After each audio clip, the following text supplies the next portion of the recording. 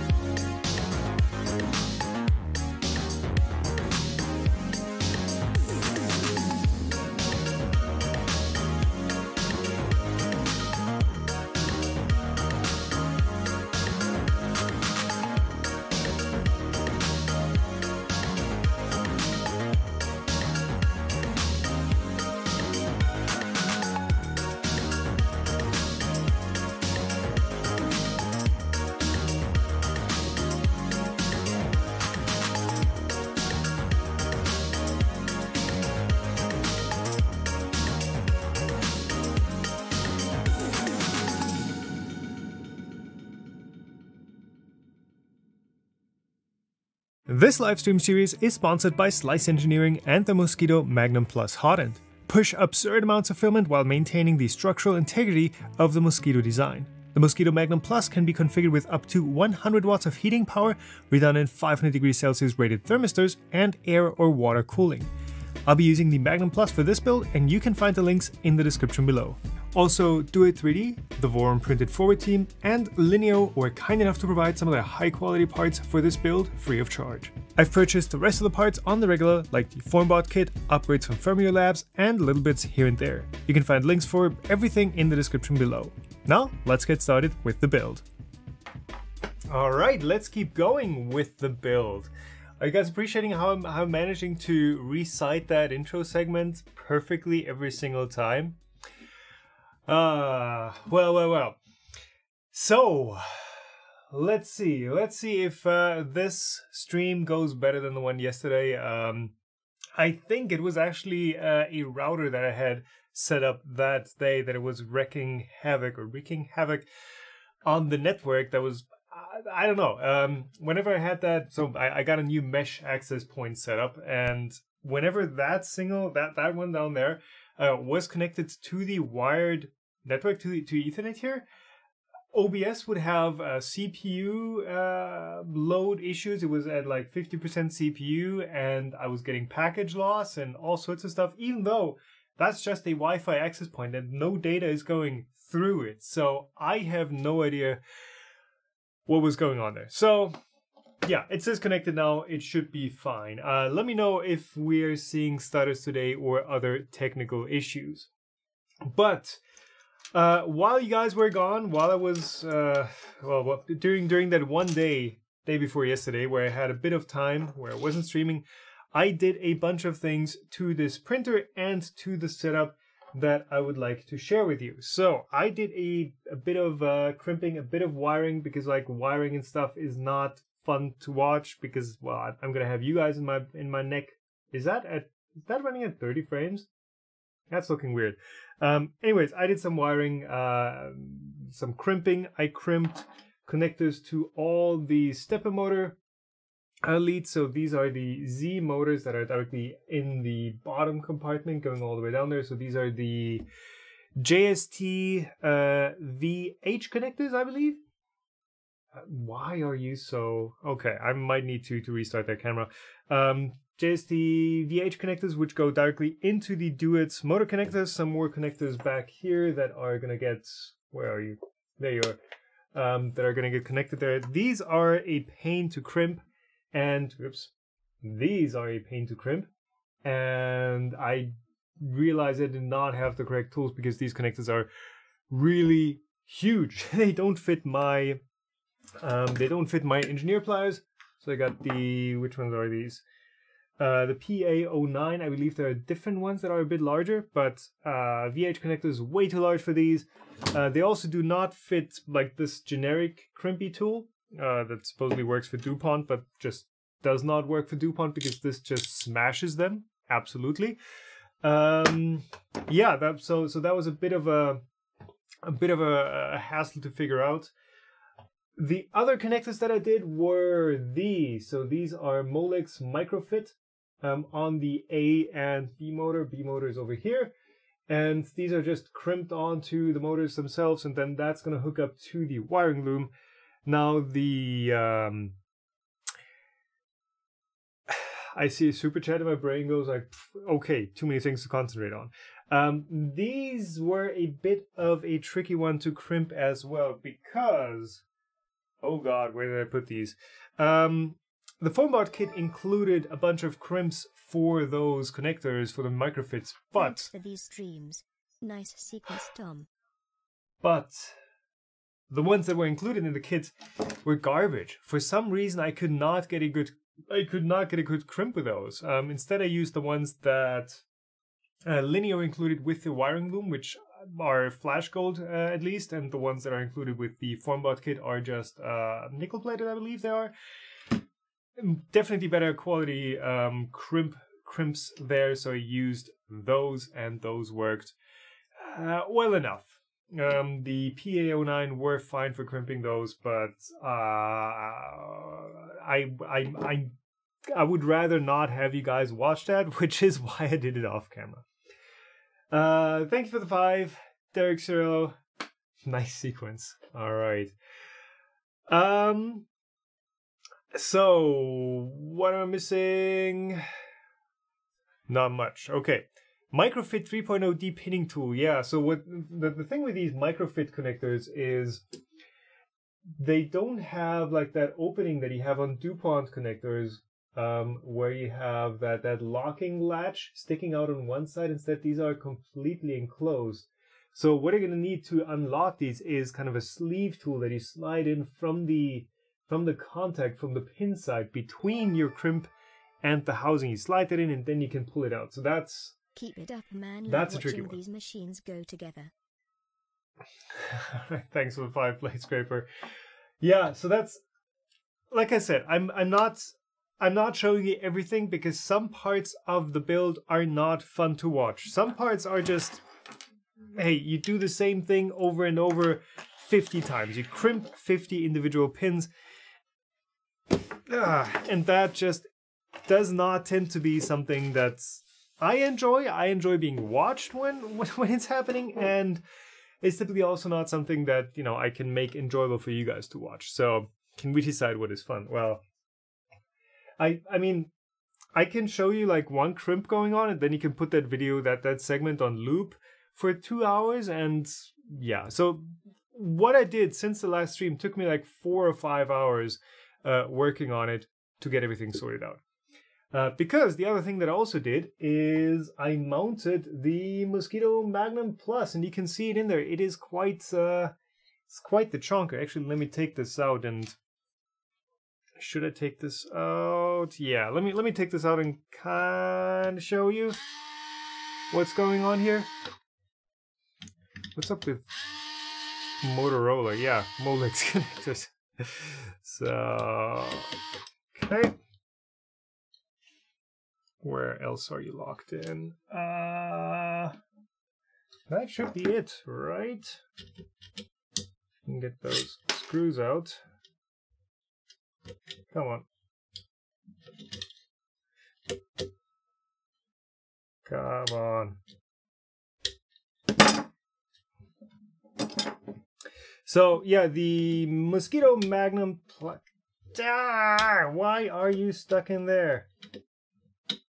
The Mosquito Magnum Plus was a bit of a challenge to mount because it is it's rather large. Um, the mounting parts for these for, for this one did work out perfectly. Maybe if I slightly tilt this. Oh yeah, that works. Come on. There we go. Um, so yeah, the Mosquito Magnum Plus was a bit of a tricky one to mount. Um, the top side is identical to the Mosquito, but the bottom part obviously is a lot longer than a stock um, Slice Engineering Mosquito that you'd use.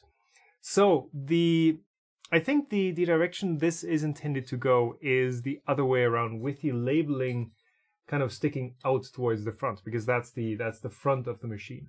However, because this has such a large whoops, this has such a large bulge right there, it was butting it was literally touching the sensor and I know these like to melt.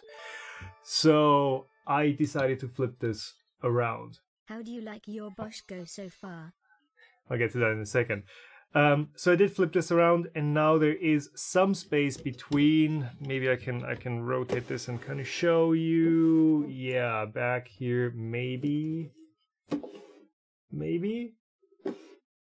Nah, that's gonna be that's gonna be tricky to, to look into. But yeah, there, there, maybe you can see.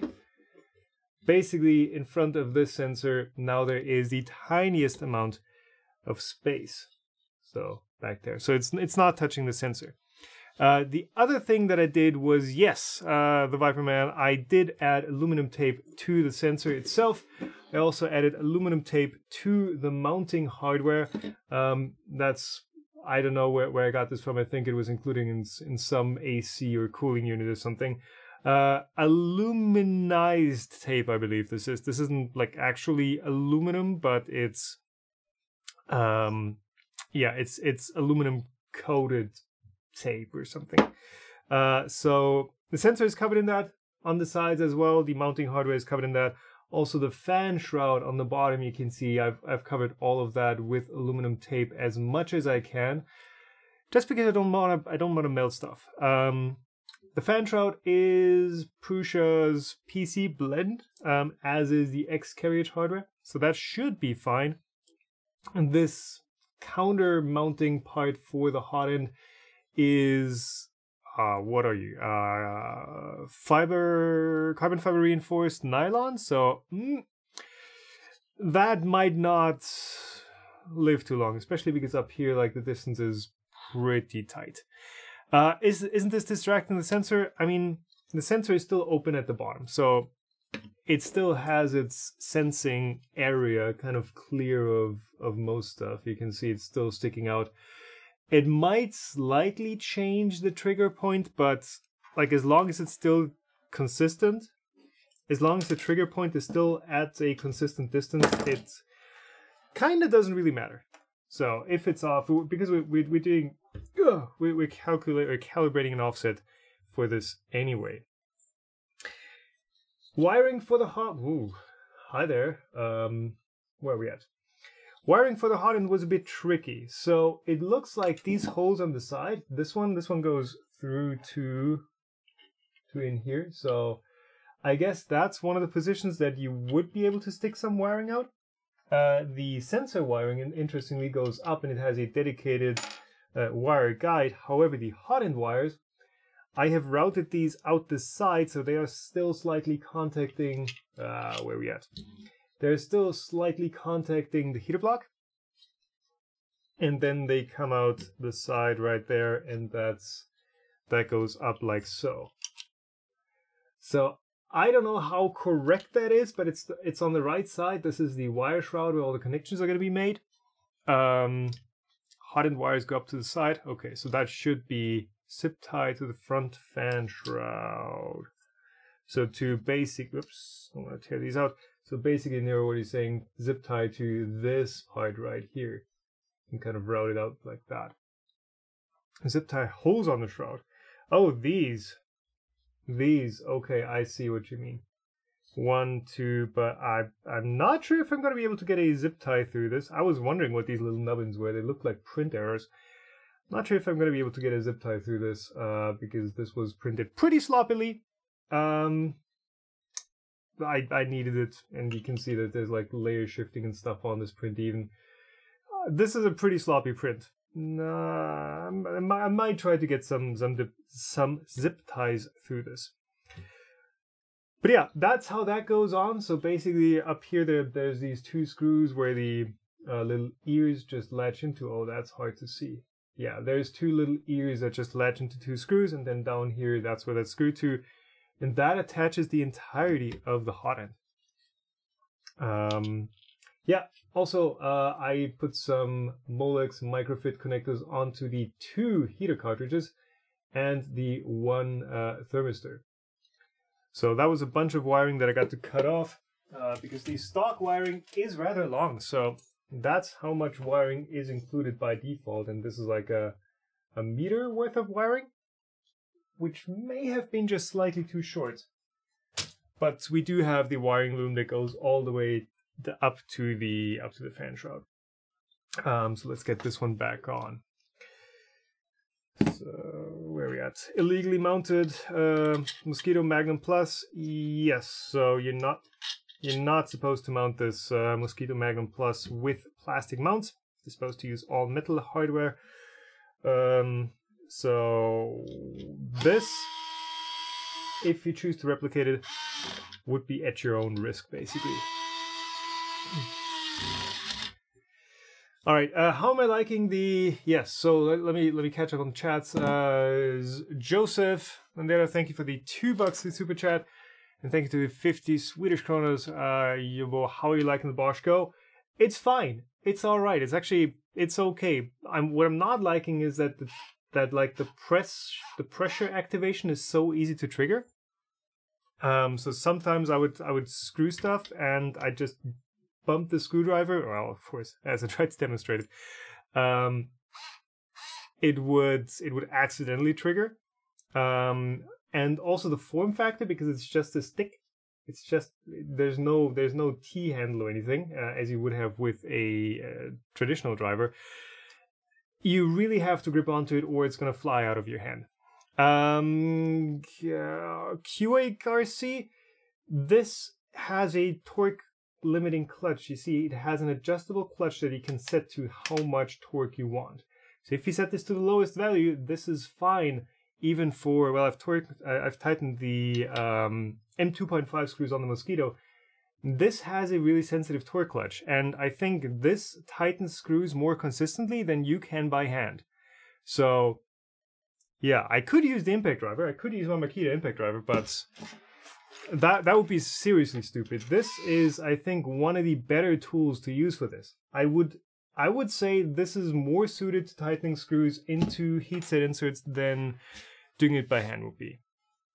So, yeah, if you if you don't know if you don't know what the tools do, then like don't make assumptions. Uh, what else do we have? Whoops, losing some screws. We also have the fan shroud that now has some Molex microfits on it. Um, and yes, of course, I have also mounted the drag chains because I wanted to see like where everything goes and how the wiring would end up so that I know how short I can cut um, the wires and where I can crimp them. So the uh, X-axis chain is installed. Uh, there. X-axis chain is installed. Um, that goes to this little nubbin that's part of the afterburner or part part of no, it's not part of anything actually. It is uh, literally an extra part that's screwed to the back of the motor. Um, so that's there. I've got my, my connectors there in the correct place. And also we've got the drag chain for the uh, yeah, for the y-axis in place. So that moves like that, moves very smoothly. Um, I did need to flip around one of the ends uh, of the drag chain because this was kind of pointing the opposite direction and you know this opening this flat bit actually maybe we can see it on eh. let's do this then. So this no this uh, end piece right there was the other way around so kind of pointing up and there's no no opportunity to secure that to anything. So once that gets attached to the dedicated uh, printed part the other side just gets screwed to the frame, same with the uh, x-axis drag chain right there. Uh, Nero, the yeah, so the the kit came with openable drag chains. So these have a little latch on the back. You stick a screwdriver and you open them up. So I will need to take these off again, but it's I've, I've saved on screws. Uh, these are not fully tied in yet. Uh, so a couple of screws to take these out and then we can fill them up with wires. Um, yeah, so the this outside is where all the openable uh, latches are. This inside is closed permanently. What else did I do? Uh, anything that I would like to talk about before we get moving here? Um, oh yes, yes. So we've got a couple new printed parts. Um, these are some mounts that I drew up and made for the Duet uh, 3. So this is for the Duet 3 6HC. This is ABS printed on draft quality. Also has some nice threaded inserts in each of the holes. Those are M4 actually for the Duet 3, as well as the same part in a bit smaller for the Duet 3 3HC expansion board. So these can clip or these can screw to the stock uh, electronics brackets, though that mount to the DIN rail. And I intentionally, well, for this one, it doesn't really matter because it's symmetrical.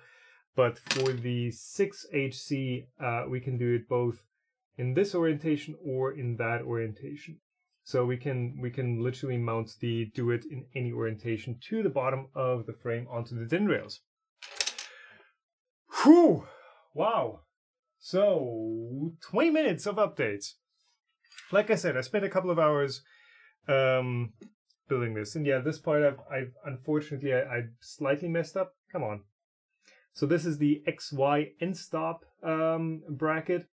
The, the kit comes with a roll of silicone wire. So a whole bunch of wire. Imagine having to, to wire everything up yourself with this.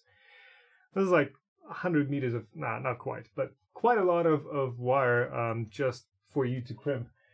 Um, so I've got the two end stops, I've got the Molex microfit on it, and I I measure I think I measured them wrong. Uh, I measured from the wrong pins to each other, uh, thinking oh these are just normally open and they don't have the normally closed feature. But I did end up soldering these to the wrong pins. I snipped off the ones that would be normally closed and just solder to normally open. And yes, the soldering job is kind of ugly, but you're never going to see that unless I show it to you in a close up on stream live to 700 people. Then you're going to see it, but in practice, you're never going to see it. So these end stops are wired up as normally open, which means they're open circuit and then you press them and they close the circuit. So that is the uh, configuration that is not preferred for this build because then if you have um, a connector fail or a cable break or whatever, then you're not going to detect when that end stop is missing. So if it's normally closed, then if everything is right, the um, the mainboard is going to be able to sense that short circuit on the um, on the output, on the input, on the output. All right. So basically, basically, uh, let me attach the fan shroud to our extrudinator. and then I think we can we can start feeding in some uh, some of the wiring loom. So basically, everything at this point, everything should be um, should be able to just plug into uh, the wiring loom. So all the connectors, all the connect except for well, the, the the heated bed is a different part, but all the parts, including the sensor, including everything else, um, should just be able to plug in. And there should not be anything else that we have to solder or crimp or modify in some other way. You, you guys seeing how little torque this is? That's how, how sensitive the torque clutch is. I would like you guys I would like to see you guys do that that consistently by hand. So that's on. Um the two fans are working, yeah. So the bottom fan, this is the hot end cooling fan actually down here. Um, this one was giving me some weird noise when I first tried it out, and that was I thought the fan was broken. I, I thought like this was this was messed up, um, but it was literally just a, piece of my uh, fan shroud print sticking up into the fan. So I took that out, uh, reinstalled it, and now we are golden. Whew!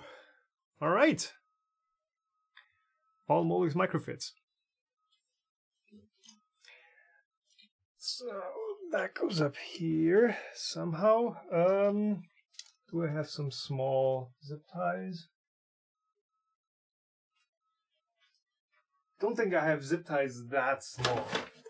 Do it doesn't include any. And the kit only included some rather large zip ties, so yeah, about time to give a small contribution for all your videos I have watched during last many years. Smiley face. Thank you for that, Lars. Uh, glad you're enjoying the videos. Now, one question for for you guys. Um, I got this. This is the other drag chain that was included, and actually I broke off one of the latches, but whatever. Um, this is the other drag chain that was included, and the way this is configured. So if you use it if you if you have it like a loop, like that, this side is fully swiveling, and this side is completely locked off. Come on, this side is completely rigid. That is, I, I believe that is the wrong um, the wrong configuration for this, right? So if we go back here, and we're trying to get this up like this, then either, well, we, we fix one end in place, but then the other end can just dangle around, right? So that's that's not good. If you do it the other way around, um, do it the other way around and have this kind of fixed up here, then it's going to dangle over into the other direction. So you would you would need the fixed one is at the bottom, okay. But then, like, if you do the fixed one at the bottom, oh, we already zoomed out. If you do the fixed one at the bottom, which is going to end up somewhere around here, then up top here, it's just gonna it's just gonna fall over. So um, yeah, that is actually a part that um, Formbot included incorrectly for uh, for the build. So they, they did include the wrong part. So what that looks like is uh, like that so that can fully swivel both directions. Take that off. Um, there's the notch that would limit how far these can move. Yeah, there you go. There's the that, that little notch that would limit it, and there's nothing ripping into that. Thank you for all your videos. You brought me to my love for Prusa, and now you get me to build a Voron. well, Christoph, thank you for that. Looks like I put you on a good path. First impression, how Voron. oh wow. I, I wonder how many people that got into the the hobby or the I don't know for some people it's a job of 3D printing. It's got to be quite a few. So um, that is that is wrong. So I thought about actually um, melting this in place or, or or welding this in place with the soldering iron, kind of fusing this to the first link because both ends could be fully rigid, right? The only problem then is it's going to be a bit hard to wire up because you kind of need to go through here. So I would need to do that once everything is, is wired up and in place. Or, I don't know, just like put a back piece or something across it and, and zip tie it into place. Super glue, it's probably not going to work because this is nylon, as far as I know. So this is, uh, these should be nylon. Um, and super glue does not stick to a lot of things, including nylon. I'd make sure there's enough chain for the full Z travel before locking anything in. Yeah, that makes sense. Um, or they could have. Ooh, they smell like a burnt motor.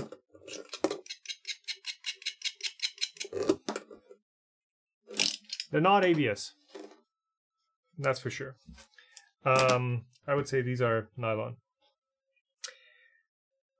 Yeah, so for the for the x and y axes, you can see this one is the y axis direction you're seeing. I have already shortened this one, so it's like just at the end, um, just barely not kind of tensioning up as it's at its full travel. That was five links that I got to take out. And on the x-axis, it's the same basically. So this one also goes over here um, and just kind of barely curls over. Just barely curls over over here. Um, and that was also five. Okay, that's a fairly weak part apparently. That that was also uh, five links too long, so that's that's fine. Um, yeah, now for the z-axis, or for the z-axis, depending on where you're from. We're gonna need to see how long this is, and this is gonna go inside here. There's a there's a where is that part? It's somewhere. I had it. Uh, I think it's this one. No, well, yes, no, I don't know. There's some part that uh, connects that. So this goes like that, and yeah, if you go all the way up, like this is this is clearly uh, more than long enough, and possibly too long even. So yeah, that's going to be something we're going to have to shorten to an appropriate length at some point. Actually, what we could also do is because of the way these are mounted with... Come on. Uh, with originally three holes, I've already drilled the extra hole in the middle there.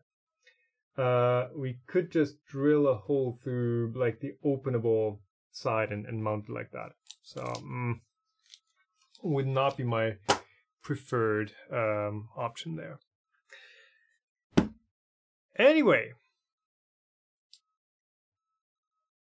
let's get some wiring on the way. So I think we should start. Actually, yeah. So wiring loom, wiring loom, oh wiring loom.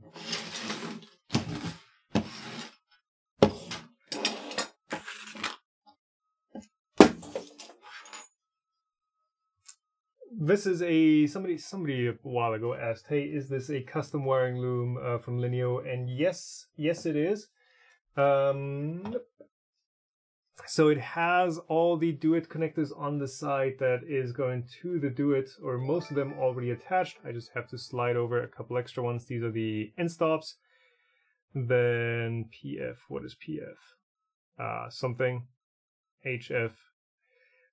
It's got all the the wiring included and it does have the double heater uh where is that? Yes it's actually got dual thermistor um, connectors and it's also got dual heaters. So yeah that is h0 and they didn't have any h1 so these are both labeled h0 but with a green and a blue. So these are the thicker um, vh connectors as well for the heaters. So this is custom made for this printer which is which is nice of them definitely saved me a lot of, of work and a lot of crimping. PF part fan? Possibly, yeah. Tip for wiring the drag chains. Undo the end mount, have it straight, open up, put wire through, clip close, and roll it back into position. Yeah, that, that's the that's the plan, Nero. Thanks for that. But that, that is the plan. Um, I just wanted to have all the drag chains on here to make sure that the um, that I knew like where all the connectors would need to go. Where we at? Where all the connectors would need to go, um, and whether my lengths were okay. But I think that is a good start. So let's get the drag chains off, and then we can start feeding in some wires. Because theoretically, we should be able to. There's nothing going like through anything, so there's there's no uh, no wiring that's like snaking through this little part. This just goes around here and lays in there. So we should just be able to clamp the drag chains around the wiring loom and then reinstall it all as an assembled part. Uh, part I'm running the thermid, well, the temperature sensor in the hot end is actually just a regular thermistor. Um, well, I'm saying regular, but it is a 500 degrees Celsius type, so it's a it's a bit special, but it's still a thermistor. It doesn't need uh, an amplifier or anything to work.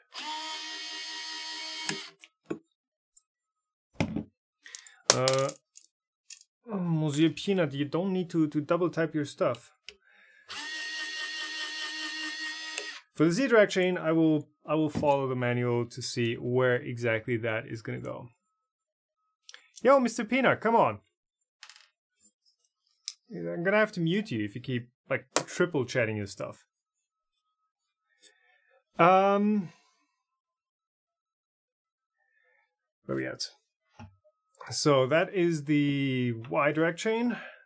That is the X drag chain.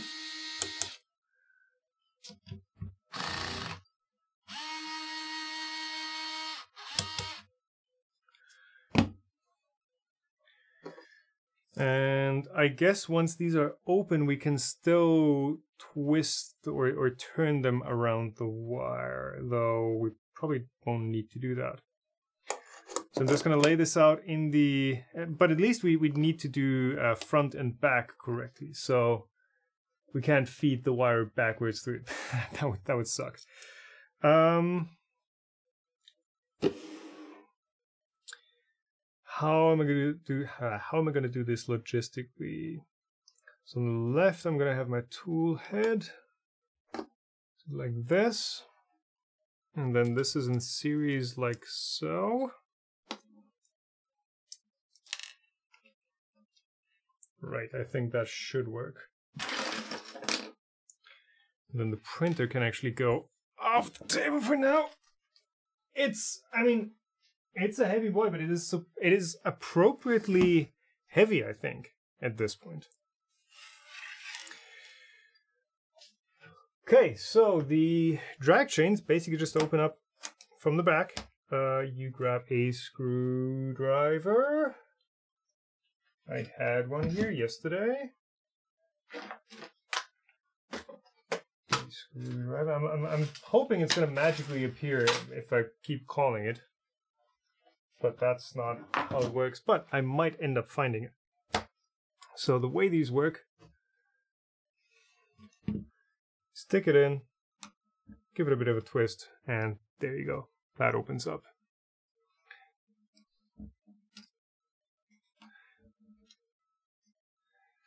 Always left the front part connected with just one screw. Oh, so, so you were wiring it up in the printer? I'm going to try to wire it up outside the printer. Just make a complete wiring loom that has everything in it. Because we can still, like, drag stuff through it, right? We can still adjust uh, how much length we get on either, either side of these, right? Thank you for everything you do for the 3D print community. Are the SMAT Smite style connectors safe to use on hot end heater connections? Thank you for the 5 DJ Legion. Glad you're appreciating my work. Uh, the SMAT, SMYT connectors. I will need to Google those in a minute um, because I don't know exactly which ones those are. Uh, also, I think I missed a uh, a super chat from Aaron Andreas Gekles. Thank you for that. Let's see there. So that Hey!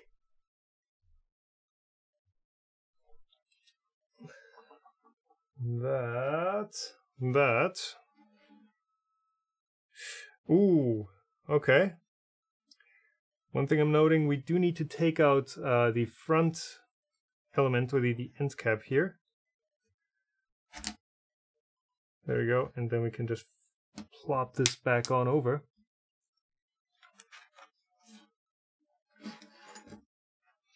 And then this makes sense because this is the XY end stops. Basically, that's all that's going into this, this drag chain. It's nice that this is all tied up and uh, wrapped tightly with, I don't know what this is, but it's like little, it looks like little heat fused uh, boys. That just lays in there and we can close this back up. Cable ties will get caught up as well. Um,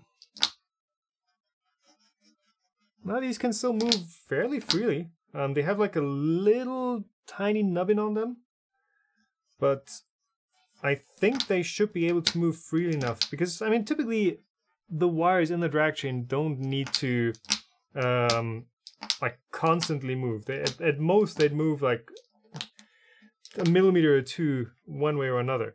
No, these are not cable ties actually. So they look like cable ties, but they are they they feel like a like a nylon wrap that gets heat fused at the end or knotted. So these don't have that sharp edge uh, from the from from a cable tie. Uh, I guess here you can see it a bit better on this one. So it's just a rather large wrap, and it is fairly soft, so it's not going to cut into the wires. Um, cutting, you would probably cut those things anyways. I mean, you that might be an option, but I like how how clean they end up um, making the entire thing, and, and as you can see, like it it still moves easily enough. Random nerd, no, the cables are not twisted pairs, I believe. Um, let me look up that that SMAT SMYT connector real quick. I might know it, but if I've not seen it yet, um, and I'm probably not going to have much to say about that. SMYT SMAT. Okay, no idea what those are.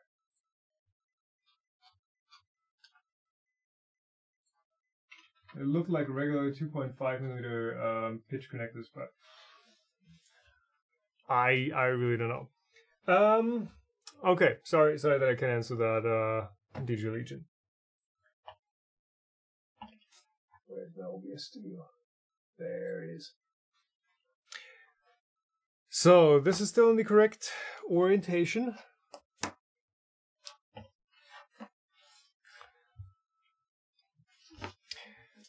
Uh, could you also use electronic tape instead of nylon stuff to bundle the cables? Uh, electronic tape as in like this stuff that is included? So the Formbot kit is including this this fabric tape stuff. Um, this is like what you what you'd see on automotive uh, wiring looms, for example, being wrapped with. That could also work, but I would be worried that this would wear through over time because it's it's like a I mean, I can already feel this, yeah, getting rougher and, and fuzzier as it's uh, as it's being moved. Not the VHB tape, no, not the VHB tape. Um, so this might not last any drag chain. It might be okay for having stuff loose and, and wrapped uh, somewhere else, but these are these feel a bit more robust. They might open up at some point, but yeah, would not be my my. I, I would not choose to put this into a drag chain. Tesa tape? Tesa tape? What, are you trying to say? Tesa is just a, a brand for um, adhesive tapes. It's like Scotch tape in the US. Actually, I think they're the same. They're the same company.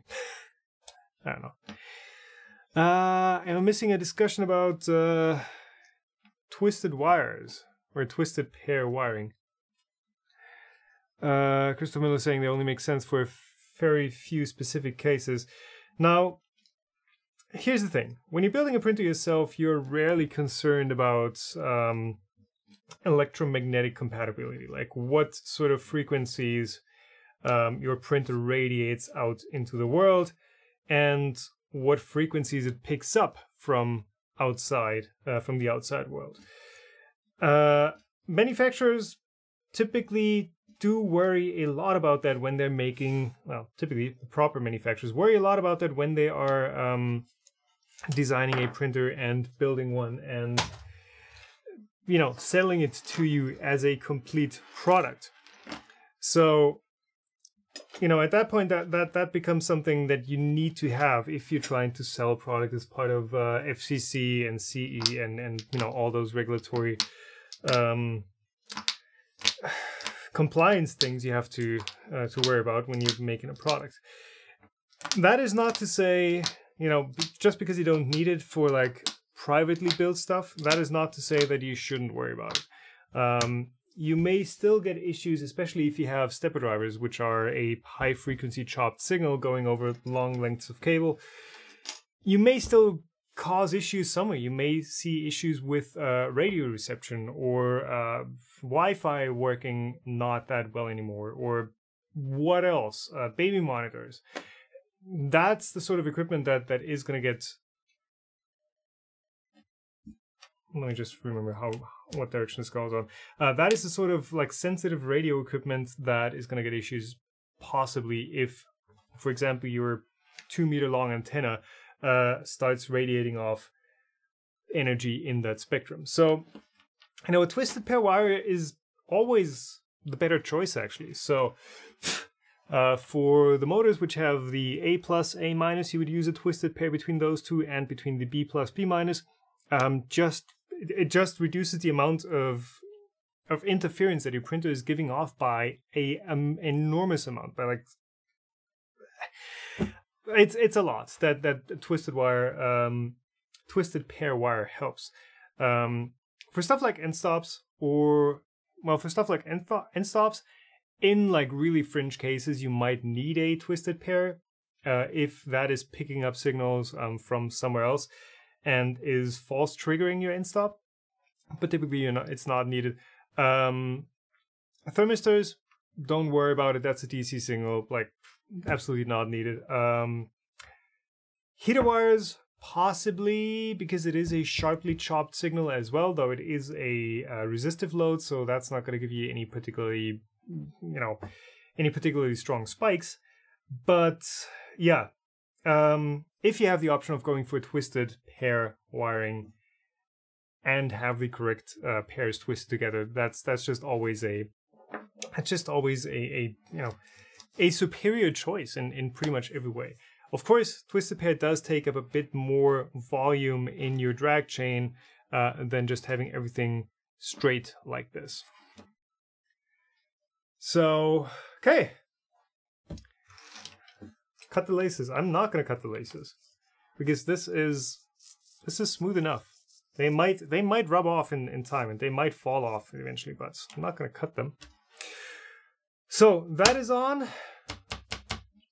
Now for the z-axis, the z-axis. Um, what do we do with the z-axis? Hmm. So this end, this end right here, that's down to the electronics compartment. Oh, do these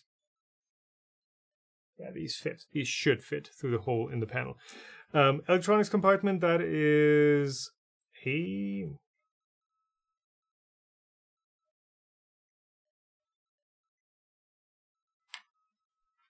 Oh yeah, right, right, right, right, right. This is up to the gantry, and then a, I was wondering, like, why is there an A motor connector here when this is already down at the at the base level? But no, this is still up at the gantry. Um, how do we do the z-axis? I think we should, before we move any further here, I think we should actually get the uh, z-axis drag chain installed. Um, yep. Before, um, before we mount anything else. Uh, Incendium is asking, Nero would put the XY on first. Well, I guess I'm going to disagree with that. Uh, I'm going to put the Z drag chain on first. Any significant benefit in ground shielding your motor wires too, Incendium is asking. Um, I would first go with with twisted pair. The thing with, with shielding is shielding in a moving cable is uh, is not that great because the shielding is going to see a lot of strain, and it might break over time. Actually, yeah, that is the z-axis. I've already got the, the manual open on the correct page. Um, so yeah, it's like electronics mounting wiring. We're going to do that after we've got the wires in. Um, I guess just feels better that way. Oh yeah, while while I see it, um, one thing that was ah, this this print isn't pretty. Um, one thing that was a bit of a mismatch between the um, Print It Forward printed parts kit uh, and the parts that came in the Voron kit was uh, the power inlet shroud thingy. So this is the one that came with the kit, or it came with the Print It Forward um, parts kit. And this is the connector or the IEC terminal that came with the Formbot kit. As you can see, like that, that doesn't fit in. Um, I believe that is for a separate. Um, actually, these are the sort of IEC connector blocks that have uh, some filtering built in. One here, and then here a fuse and a switch block, I believe. So that one didn't fit. However, this is the one that is uh, in the CAD model. So I just quickly exported that um, because it is the correct cutout for the switch. So that just goes in here like that, and then, well, Actually, no, that's the that's the correct orientation, not from the back. That goes in here, um, that's the flush in the end, and then you have two, I believe these are keystone um, clip-in points where you can attach um, an Ethernet jack, which is also included in the kit, um, Ethernet jack, um, and then I think there's like a blind plug included for the other side, but you could put any other keystone module into the other side. Uh, due to cheaper plugs can potentially mount, so for safety reasons, PIF only includes the safer plug mount. Safer plug mount? Okay. Okay, so here you're saying this style of connector block might be a bit crappy. I mean, it does have it does have exposed mains on the back, so yeah, that's something you you will need to worry about. Um, uh, Daniel Lischia, Lischia, um, how to find out which parts need to be printed in red. Um, I mean, none of the parts really need to be printed in red, but you can print any of them in, in any accent color. They are labeled in the, when you download the STL pack from, from Voron Design, they are labeled with an A in the file name. That is the accent color set. And also, if you look at the printed parts list, um, they're also listed as accent color parts. So that's all, that's all in the documentation. There's some really cheap versions that we've seen melt. What? How would you how would you get these to melt? These should be rated for 16 amps. Continues. Um. Actually, are they? Or 10 amps? So I guess I guess yeah. If it's not fixed wiring, it's it's 10 amps permanent or continuous. This one's 10 amps. If you 10 amps, uh, 240.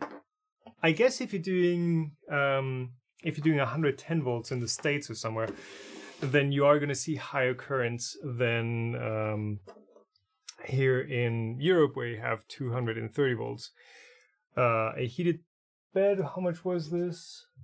Okay, I've rubbed off the labeling, but the heated bed shouldn't be more than the entire printer shouldn't be more than two amps. So I I don't know how this would melt in Europe, US maybe. Can the Voron print nylon by default? Yes. Yes, for sure. All right. So that is the that's the story of the IEC terminal that's included versus the one that was printed in the Print It Forward kit. Uh, loose connection heat mill. Yeah, okay. That's that, that's that, that's the z-axis. So we need two parts for this. Actually, one of them is already on here. Yeah, so one of them is already mounted. By the way, I've got this camera up on a higher angle today, and of course, we're still at the at the wrong height. So one of the mounting blocks is already here, and the other one is going to go down here. Like so. So I just need to find that part. I think it's... No. I just had it a second ago. Wow. Um, there are a couple of parts that I'm not using from the Print It Forward kit, but that is simply because I'm diverging from how this printer like is officially supposed to be built. Um, but typically, yeah, you you would use all of the parts from the from the PIF kit. There's that part.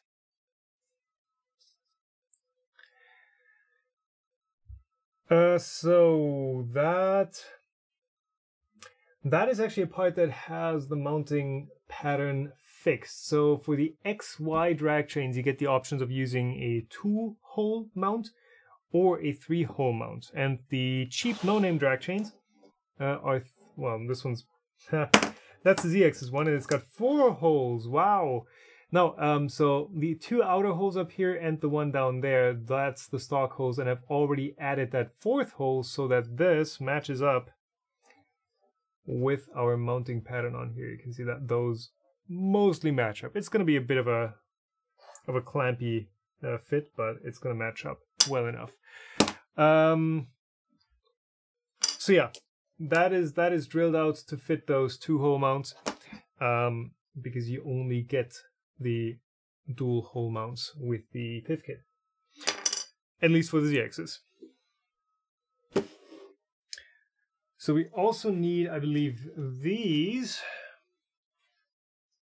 Yeah, these little blockeronis. They would go in here and actually hold uh, a pair of uh, hex nuts. Why not? Why not uh, threaded inserts? Are these M4? Oh, they might be M4. Okay, don't have threaded inserts for those, or at least they're not. And they would be an extra uh, an extra component for the build. So let's see. Two nondescript screws. Really enjoying this build series. Great design and talented builder make it seem pretty straightforward to assemble. Where is it? Is that did that not spawn a text overlay? Hmm. Thanks for the five, Michael. AKA Fixin' Dude. Great design and talented builder. Builder. Uh, builder who has his head everywhere but on the build. But yeah, the, the design is is pretty nice, I gotta say. M5 by 10 button head cap screw.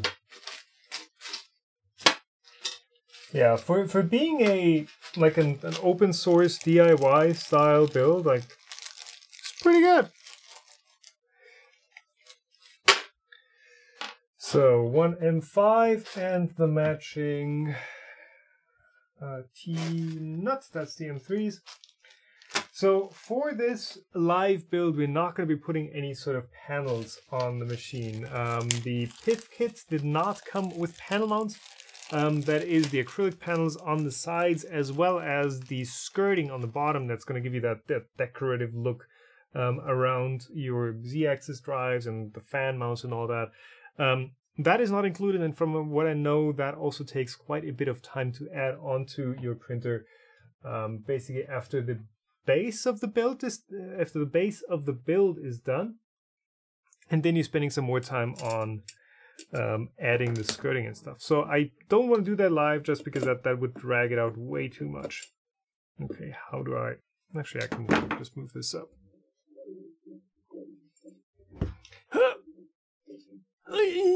Come on.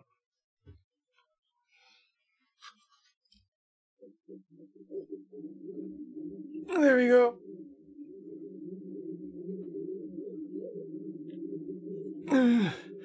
That's pretty heavy. Okay. Hoping that didn't rack it too much.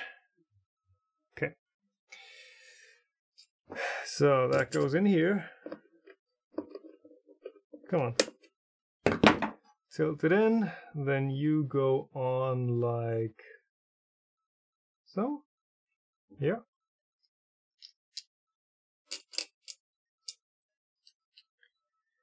And then we need a matching hex key to fix it in place. And this is still going to need to slide around a bit. um, just to account for the fact that the yeah oh this this can still adjust even uh, just to account for the fact that yeah the drag chain is going to need to be adjusted to sit in the correct position in the end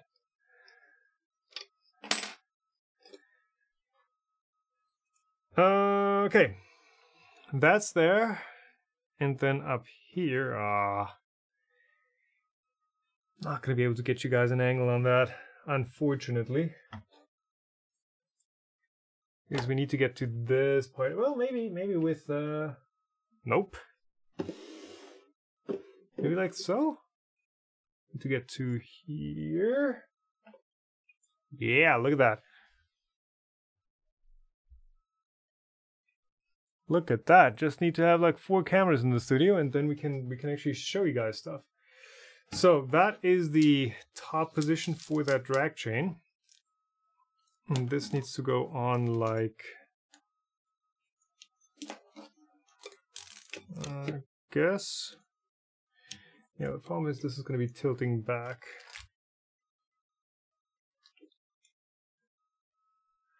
Or maybe... Let's do this then. Um, if I push this far enough down, we actually get the backside of the first link to sit flush against uh, this backer piece. So that at least keeps it from tilting this way, keeps it from, from tilting that way. And then the other direction is controlled by the bottom piece being rigid. So that would be... Or I can, I can just zip tie it. And just leave out the end piece entirely. I think zip tying would actually be Yeah, zip tying would be the much smarter option here. Just not screw it in place at all and just zip tie closed because it's gonna, its positioning is gonna be determined by the bottom uh, drag chain being mounted against this piece already. So yeah, I'm just I'm just gonna leave I'm just gonna leave out the end piece here, which is the wrong kind. Um, but yeah, I'm I'm liking that. I'm liking that a lot a lot better. Okay, so this side again is the hot end side. So also nothing that we're gonna need to feed through up here. Nope. It's gonna end up there and then there's gonna be a wire cover here. Yeah. Um, yeah, and to to reiterate that answer that uh, Nero gave to Robert, um, yeah, Voron is a community project basically with you can go bye bye uh, a community project with no like official kits or anything. So the kit that i'm using um, for the uh, for the Voron 2.4 that is a kit that uh, formbot put together um, commercially for them to sell um, and not Voron or the Voron team. So Voron are, are a group of volunteers that are designing this um, and they're not selling parts. Also, I, I believe the the Print It Forward uh, project is not making anyone any money. Correct me if I'm wrong on that, but yeah,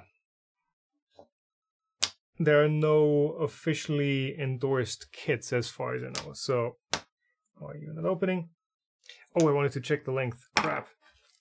I need to check the length before I feed any, any wiring in. Um, so yeah, any kits are kind of at your own risk. Basically, they they're not monitored. Well, I guess uh, I guess the Voron team knows that there are kits and they they they know kind of what's what's wrong with each uh, each one, but there are no official kits or anything um, that they sell or that are officially endorsed by the project.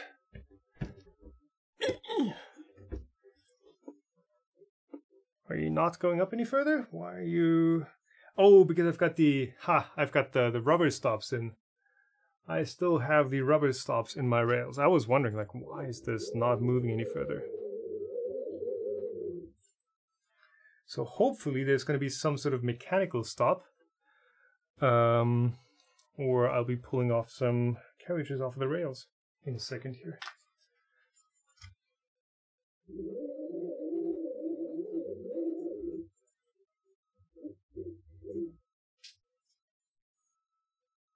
We're getting mighty close to the end of, of the of the linear rail.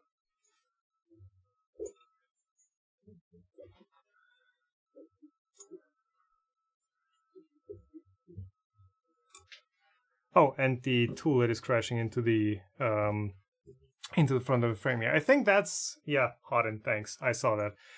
Um, I think that maybe a bit further. Yeah, so realistically, I'm just gonna line these up to the bottom of the screw hole as best as I can. Uh, realistically, you're not gonna be printing at a Z height higher than this. The printer could still move further, but uh, when it's fully built, there's going to be a panel up top, and you still have your. Oh, this is going to be out of focus now. Uh, you're still going to have your uh, Teflon tube coming out the top here. So this is still going to need some sort of an angle uh, to be able to feed out. So, yeah, done in config. Okay, so you re- really need to trust your your safety measures to not shoot these, because this is from what I'm seeing here um, the there we are. You can see how much like room there is on that rail right there. There's like a centimeter or something left. But if you look at the drive side of things, there's like another two or three. So you could run you could run the the carriages off the rails if you wanted to. Uh, the y direction will crash into the top extrusion. Okay, so there is I, I i'm not sure if that is intentional but um yeah i th- there is i guess somehow a chance if stuff goes wrong that it could yeah drag chain yeah yeah. That it could perhaps run it off but realistically that's not going to be a problem. Back here back here that's that's where the, the y-axis drag is going to mount on top of and there's like five millimeters of space. Drag chain is 10 so you do want to limit uh, z in the firmware. Yes, you probably do want to do that. So we were going this way. And actually, I think this drag chain is already at pretty much the correct length. Maybe one, one link less.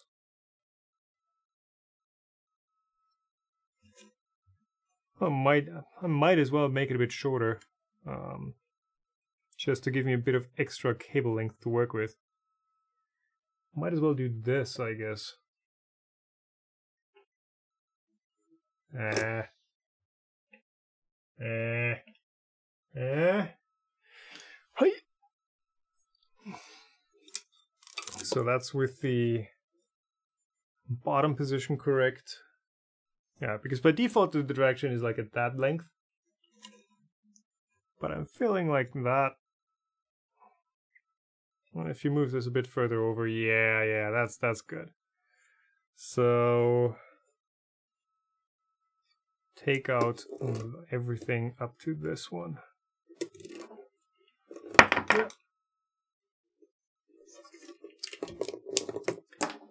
There we go. That is shortened.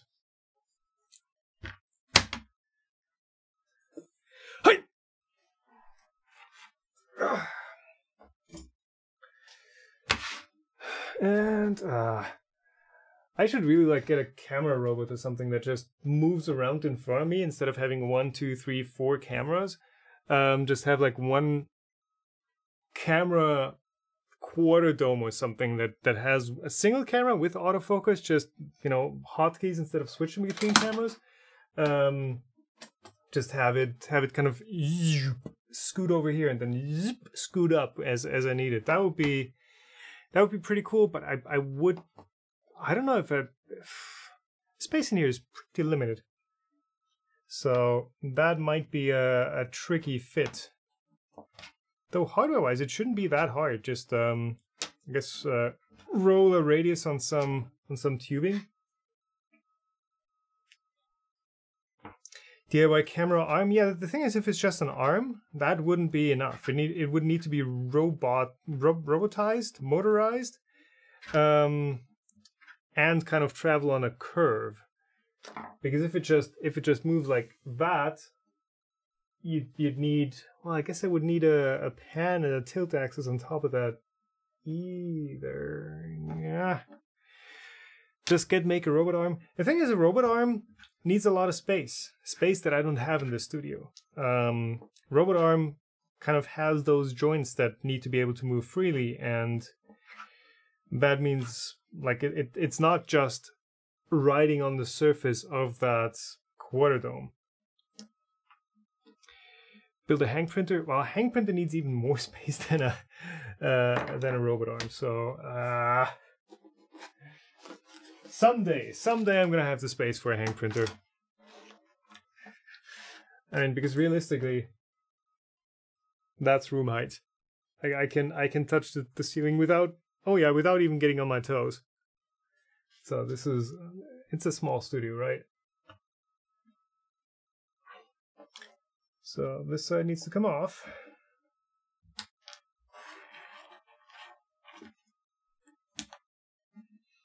Yeah, that should be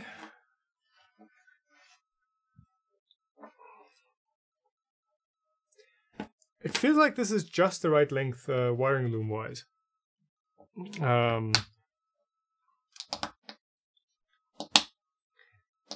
I guess I guess if I was to crimp this up myself, I would leave this just ever so slightly longer because this is well, I guess that there's going to be some slack that we're going to be taking out over here and so on.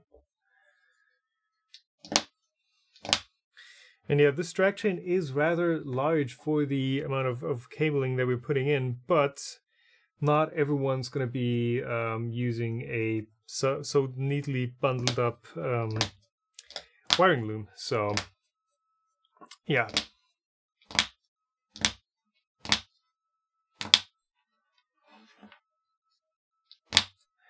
Need a camera person? Well, someday. Uh, with the silicon wires, it's pretty stuff busy. Yeah, I would I would guess so. Uh, Thank you for the two, Domenico. Uh, asking any plans for a second custom filament. So, for those of you who don't know, a couple of years ago, actually, um, I did a custom filament with Das Filament, German filament manufacturer, who are doing flexibles, PLA, and PETG. I think they make a couple new ones now too. And we've got Infinity Blue, which is a, a sparkly, bright blue, kind of like the the channel color, more or less. Uh, metallic, glittery, sparkly blue. I like it a lot. It's PLA. Um, and two years ago, pre-pandemic, um, we tried to make another one. We tried to get a to have a spool of that. Yeah, actually, this stuff is it. Um, we tried to make a, a second one, um, and I was gonna call it Slag Violet. And the idea was to have to have um, there we go. The idea was to have a transparent PETG purple with black like soot flakes, like a, a kind of a, an ash shower, ash rain um, kind of effect to it.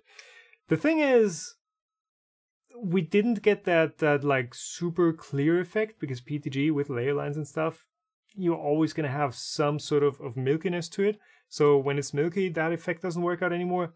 And with the flakes that we wanted to use, um, with the size of flaking that we tried to use, it was getting extremely hard to make accurate filament. It was starting to get bumps on the. Yep, hold on. Uh, it was starting to get to get bumps on the surface, and that would get caught by uh, Das Filament's quality check equipment um, because they are constantly monitoring um, how well their filament is, is extruded, and if it's not within tolerance, uh, everything stops. So that was getting triggered. So we eventually, because there were too many issues, we eventually abandoned that idea, unfortunately. And yeah, there is no second um, filament color from them. However, I do have um, with Protopasta. Um, while I was there, wow, 2018, I think it was.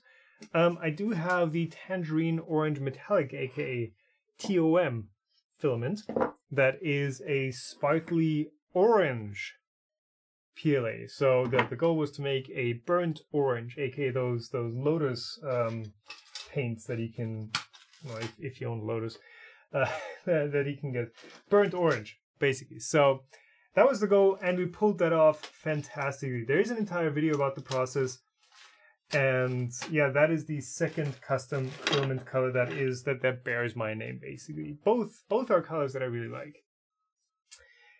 I'm trying to find the nuts for this. Um, let me just double check.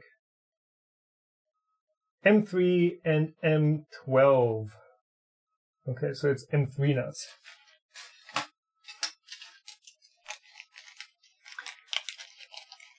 Yeah, so two sparkly filaments. Two filaments I actually really like in the end.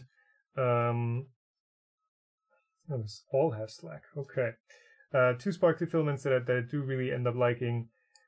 The third one didn't quite make it because I guess I had I had too high hopes or too high have a goal for what that thing should look like, and turns out you can't you can't actually just make filament with whatever you want. It actually needs to be printable and manufacturable too. Who would have guessed? So you go on here. I'm gonna leave you guys on. Well, actually,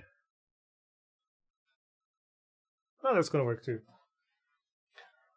This is going to be tricky with the fully loaded drag chain.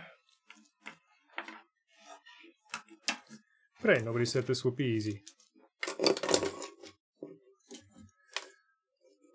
So is there any sort of... It's just like that and then goes through, through this hole right there.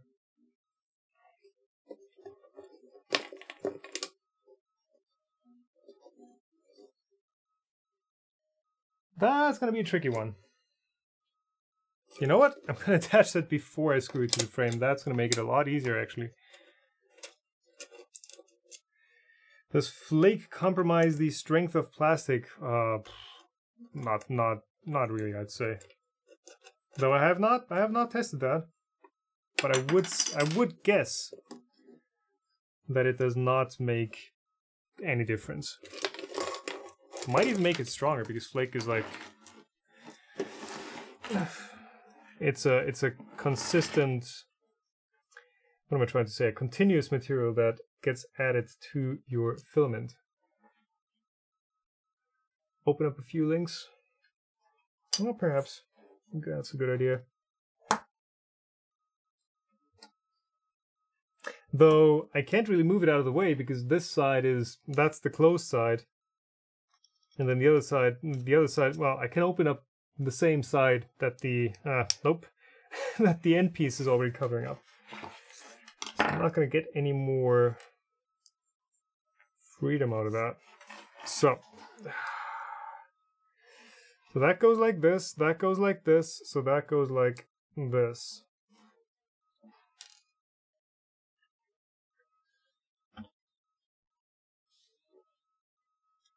And then now,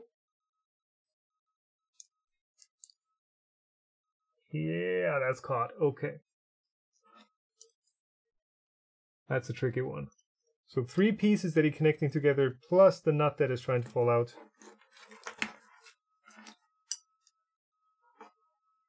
And then the same on this side. Uh, I'm, I'm sure that is fun to watch, right? There we go. Gotta poke through.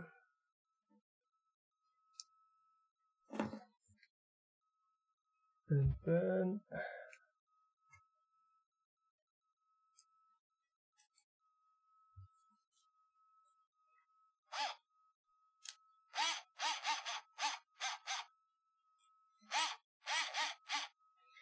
Okay, and I can fully tighten it up once it's on the machine and stuff is getting aligned.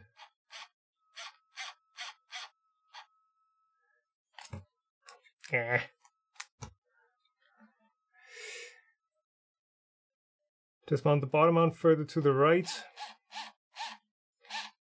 Um, I do want the bottom mount to uh, to constrain the drag chain a bit. I do want to to keep to have that keep it in place. So if we hook that on here,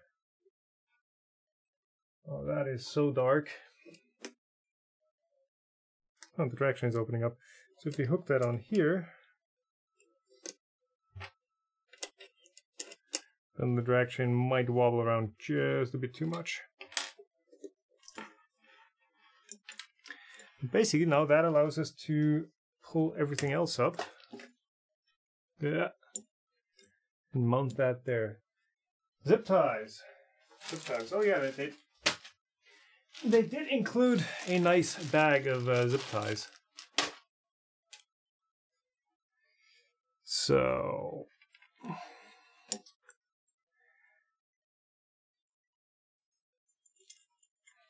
with the drag chains that are included, I just think that is the, you know, using zip ties here is the is technically the best solution um, for getting everything attached. Ooh, am I going to be able to, to make it through here? Yeah, yeah, yeah. No, is up here is where I'm mounting. That's the best perspective for now. Well, possibly that.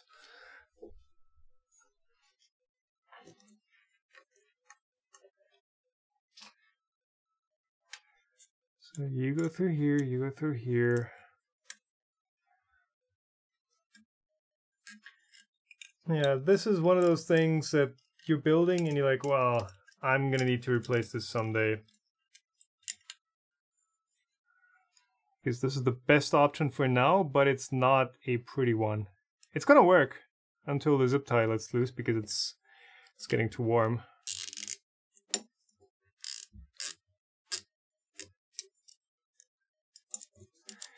Wires need to be managed.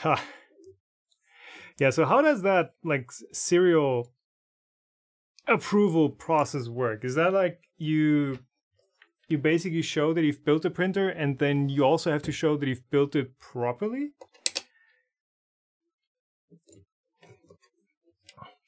Actually, that's I'm I'm liking how rigid that is. So we can do that. We can well probably tighten up the uh, M3 screws in the bottom first. Upload a video on Reddit. Wow, I've, I've never used Reddit. That's going to be a first. I've heard bad things about it.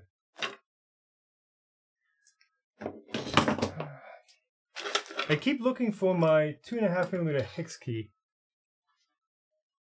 There it is.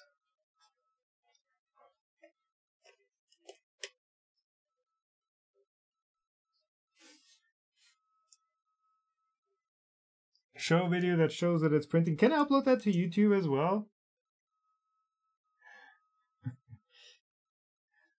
YouTube's more my more my style. Okay, so that is square. And then I'm gonna move you. Ah! Does that zip, tie qualify as neat? Well, once it's cut off, I think it, it would be. So that is square. Now I can move it over to the position that it needs to be in. And now this should, well, any crookedness is accentuated by the perspective. So, um,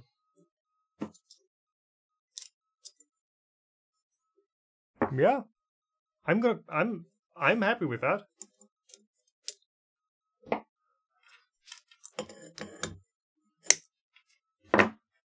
I'm happy with that. Nobody's gonna notice. No, nobody's ever gonna know. That must be so hard to look at with with so much stuff going on. Yeah. Um. There is the correct uh, cable for the correct motor for the. What are you? A. Uh, yeah. So A motor goes here. And then the B motor goes over yonder, over on the other side. And then that's going to need some zip ties uh, to hide some of the wiring as well, because that is that needs to go over here somehow. Um, I guess you can, yeah, either use like uh, sticky zip tie bases on the frame if you have black ones, uh, or I guess you could print something as well that kind of ties it neatly around the bottom of this rail.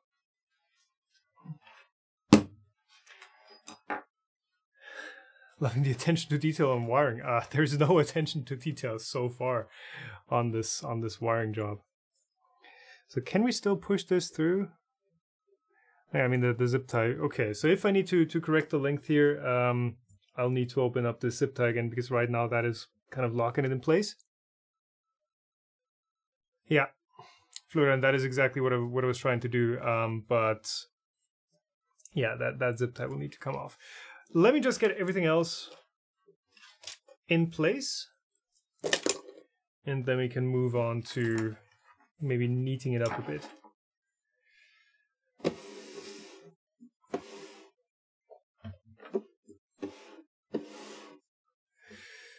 So, you need to come back down. That noise is so so fascinating. Four stepper motors being pushed. It's like a beehive. So there is, hold on, there is this piece. This piece goes on here and covers up everything once everything is on, which means that the cables actually need to poke through this opening right here. So we need to feed everything, including the drag chain, through here. Otherwise, the wiring isn't going to end up neatly in place. So let's go ahead and do that.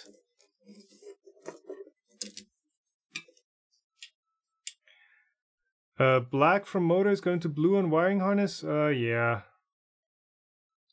Yeah, you're right. I d I didn't even notice that the wiring harness had um, the motor cables on there. I just thought it was in order. But as long as A plus, A minus is together, kind of doesn't really matter. Uh, because you can you can invert the motor direction in, so in software. And if like A plus, A minus is flipped, that's just going to make the, the motor turn backwards. So that is not a huge problem actually. It's an OCD problem, yeah, but functionality doesn't matter the slightest bit.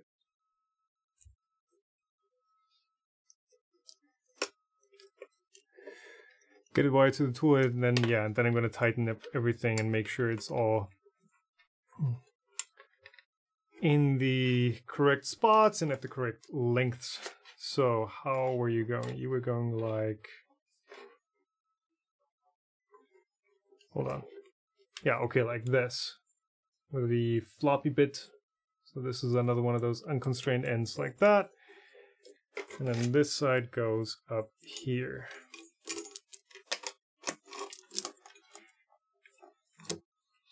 Nero, how many serial numbers do you have? So how often have you done this entire build thing?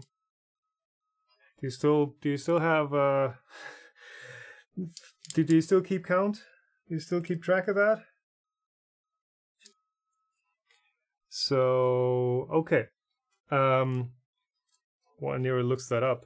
Um uh one thing I'm noticing is the wiring is actually touching the belt, so the Z-axis belt. However, as long as this is kind of out of the way, that shouldn't matter because this side of the belt is static in relation to the um, to the wiring. So this side is actually clamped to the gantry. So this side moves up and down, and this side moves at double speed relative to um, to the other side. So it can touch this side, but it can't touch this.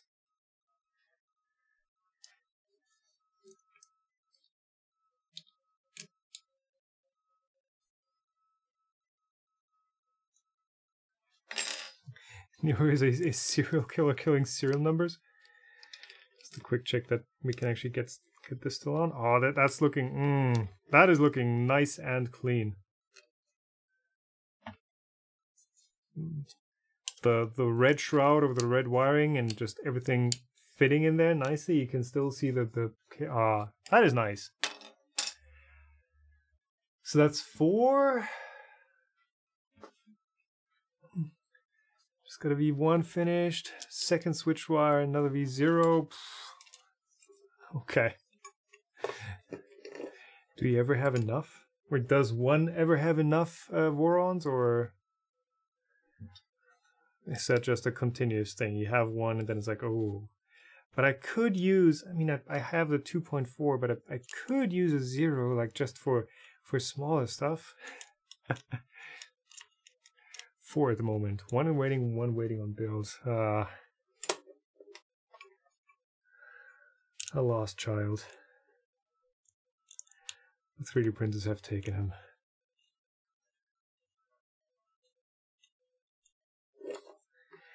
Other than my PIF kit also has four. Well, I, I guess if you if you're turning out parts for PIF, then you you do need a bit of capacity to print.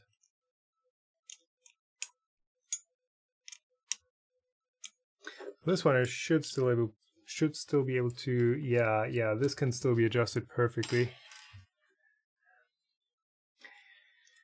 All the crimps are in here. That's gonna go under the shroud. Nope. Yes. No. Oh, we're, we're rotating 90 degrees. That's why I'm not finding the right perspective. So now we do the x-axis, and it's the same as on the y-axis over here. Yeah, this is actually working out pretty well with uh, getting everything into the drag chains and assembling stuff as a complete unit. There's the X, Y, end stops that are going to branch off. Is working very well, I would say.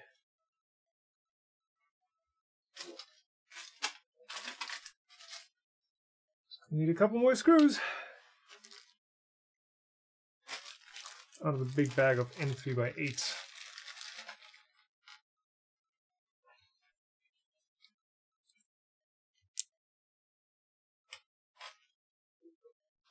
Yeah, wiring is very satisfying when you can do it properly, like when there's uh, spots to manage uh, stuff, when there is ways to do it cleanly.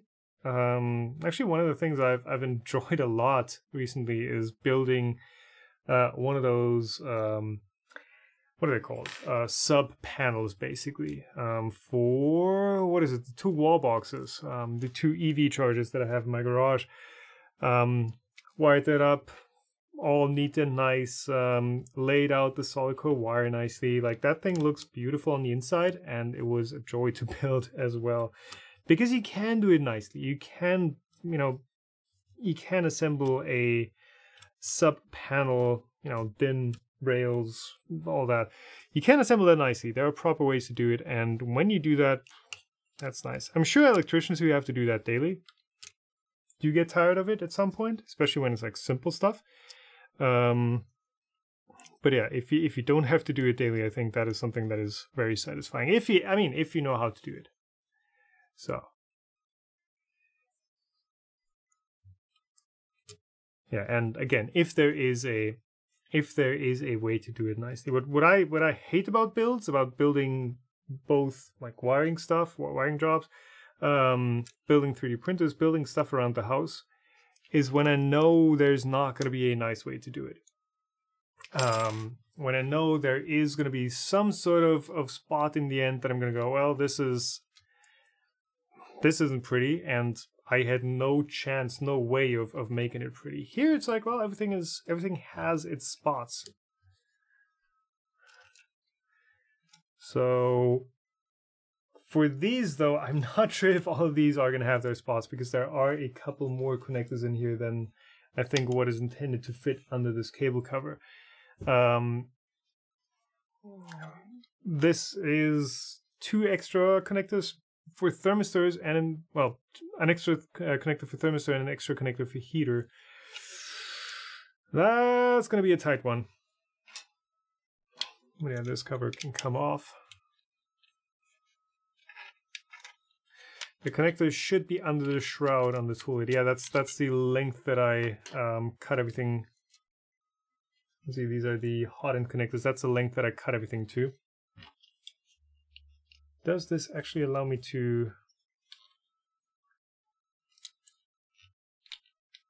Uh, so that's for that cable. Where are the hot end wires supposed to feed into the front? Like so?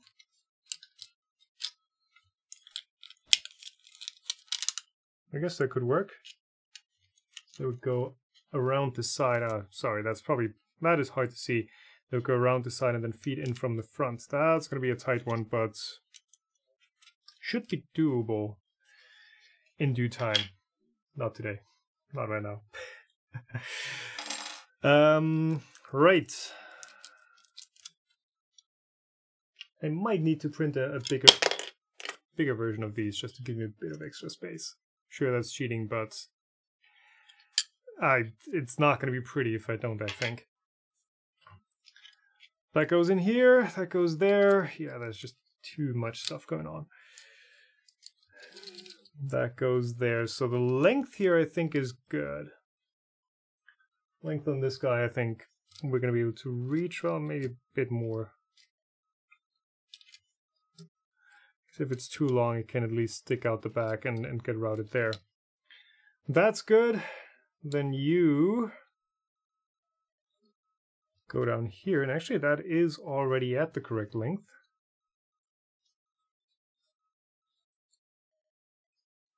So let me get a pair. I'm, I'm actually going to have to grab... X looks too long. Well, you know, here's the thing. When I, when I move this over, this is like the mechanical end position, and this is this cannot be any shorter.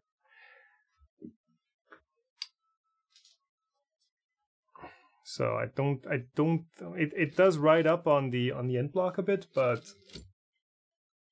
that's how far the toolhead can go. Um. Right, I'm gonna grab some zip ties real quick. Uh, give me one second. I'll be right back. I'll, I'll, be I'll be so quick that I don't even need to get the be right back graphic going.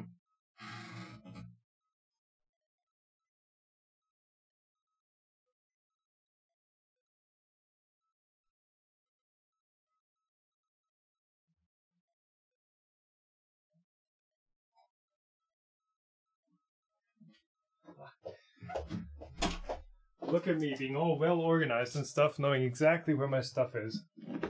Ha. So, skinny zip ties. I did have like a big bundle of nice skinny ones somewhere else too. Let's use these.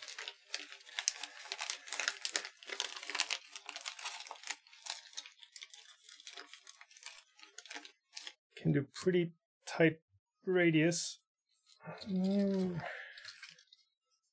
That's as tight as it gets. Like that is literally locked up. So that there's there's no there's no slack in this. So when it's at the end, this is already tight. Um, and we here, yeah, sure, we can we can pull this up a bit, but over at the end, like there's there's zero slack. Um, um, um, um, um. Zip ties. Zip ties in here. So let me see. This side that I'm facing, that is the like pretty side, the visible side. So I do want my zip tie heads to be in the back. We can do that on this lock by fitting it in from the back.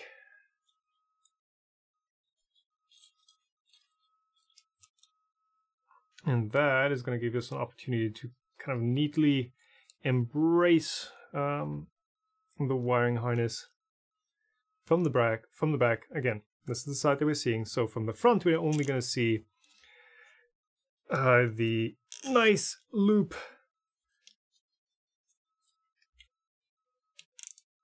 and not the zip tie head.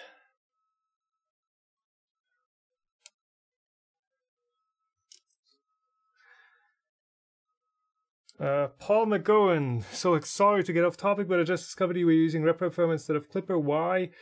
Uh, Paul, Klipper doesn't run on Duet 3, and, I, am and I'm using Duet 3 to have room for expandability in the future for future projects.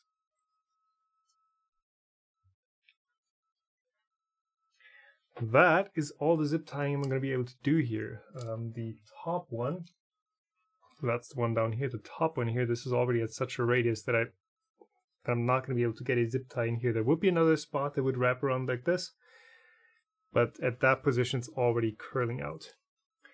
Uh, will we print today? Definitely not today. Uh, next stream, we're going to do firmware config and all that.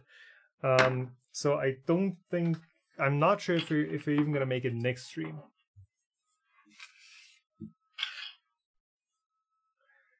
Uh, It sponsored sponsored the board. Duet did not pay me to use their boards. Um, there, as long as there's money involved. Paul, no, no, they provided the boards for free. As I say in the intro to every single one of these streams, they provided the boards. Um, I was like, well, guys, I need some boards. Uh, would you like to pro? Or they they actually reached out to me. Uh, they were like, hey, Tom, would you like to use Duet? And I was like, well, fits perfectly with with what I want to do. So they provided the boards free of charge to me. They did not pay me uh, to use them. Like I said.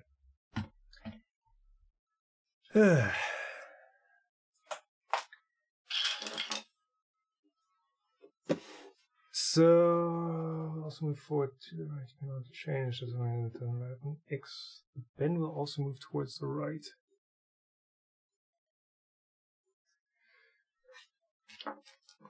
All right.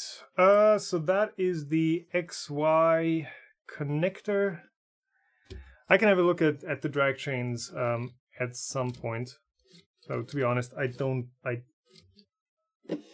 I don't think this is like a mechanical issue or anything. This is running perfectly fine.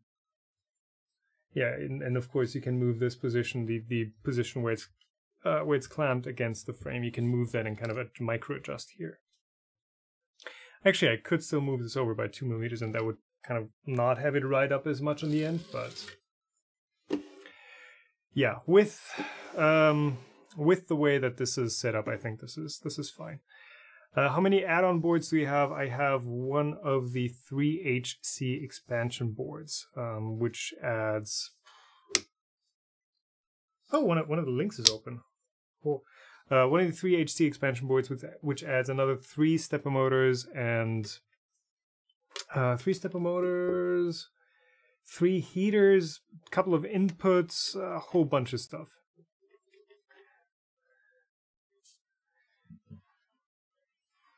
Move it the other direction. Well, the other direction is fine, um, as long as this is out of the way. That direction is fine. Uh, still doesn't have the end stop board, so that still needs to get added here.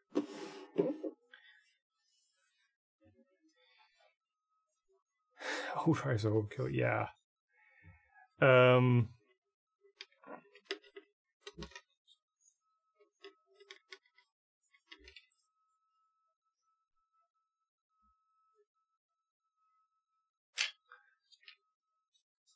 Right, so you, what are you? You are you, you are you. So that's the two motors. Think I can put the, I can put these on and there are no zip ties around here anywhere. Nope. Literally just going into the slot. Into the slot right there. You go over and, oh, what type of screw were you?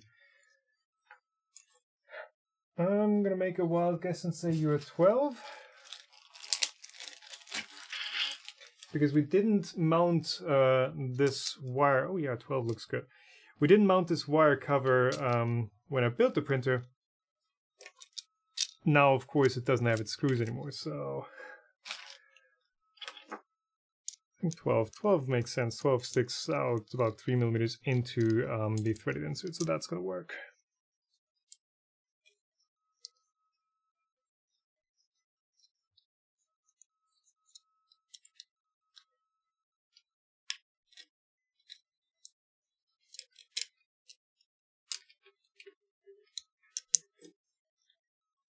One thing that would be interesting uh, to see is how much of a difference uh, servo drive steppers can make, because that's that's something that is somewhat easily available now. Um, typically, you know, these stepper drivers they don't have any feedback except for what the Trinamic drivers give you. Um, so if they lose a step, they lose a step. That step is gone. Uh, Trinamic can try to rehome the printer, but it can't it can't really make up for any lost movements directly. So the servo a servo would have some sort of active monitoring that tells the driver how much it actually moved versus how much it was expecting uh, the motor to move. And that can be very helpful for going at faster speeds because at, at those faster speeds, you are more likely to lose a step with stepper drivers um, or stepper motors with traditional stepper motors. And if you don't need to like limit your feed rates to where your stepper motor can safely go, and you can just crank it as fast as you can, and the, the, the servo drive kind of makes up for for all of that. That could be that could be a nice advantage in, in speeds that you can get.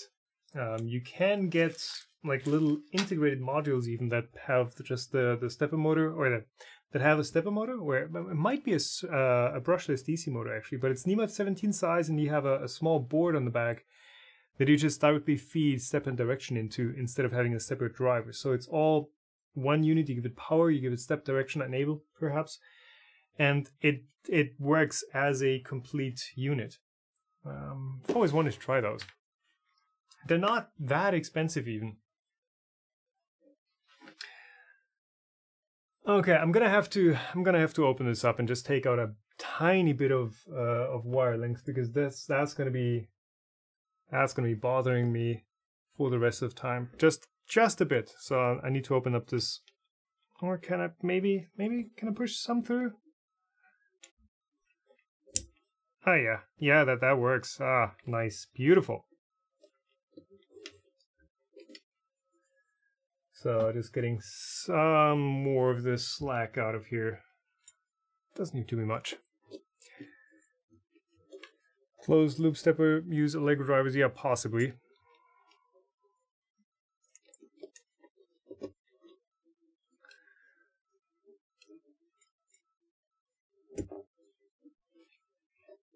Um, does the end need to move over to be over the hole? I guess that's the intent, but then you would have uh, the z-axis chain like very loosely. I mean, I, I can show you what that would look like. We can do that. That's not a problem. So if you move this over and we actually have the chain going in,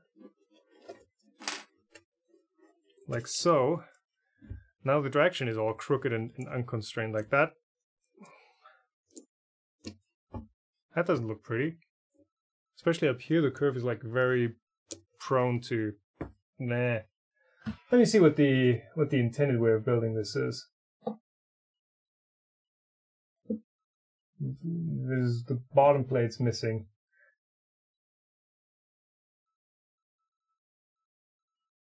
Is there a picture of the completed unit? Yes.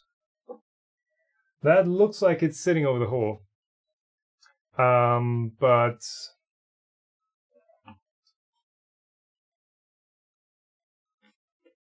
yeah, like that, it's sitting over the hole, and we, we're not, we don't have that loop. But up here we have a, a drag chain that is just super not constrained. Uh. Oh, okay uh, Nero saying the CAD and pictures are all for, for a 250 millimeter unit. So, okay. So because the slot in the uh, in the bottom plate is still centered, but that distance would now be larger, I'm actually going to move it over and build a little loop and, and have this drag chain kind of under tension. I just prefer I just prefer the look of that.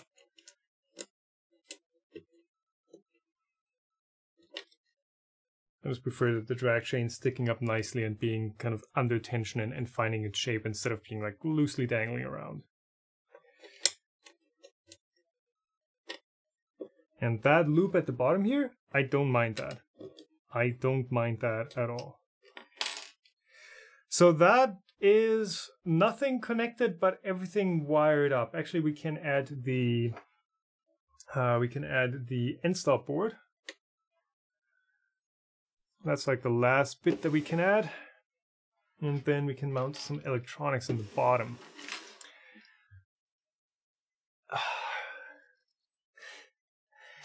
End stops, man.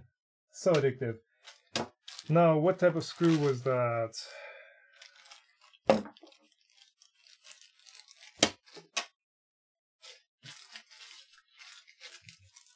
Because that screw does go all the way into on here. Um, that's where it mounts. It goes all the way into the carriage. So that, that must be like a 40 or something. 40 right here. Can give that a try. It's too long. 30 it is then.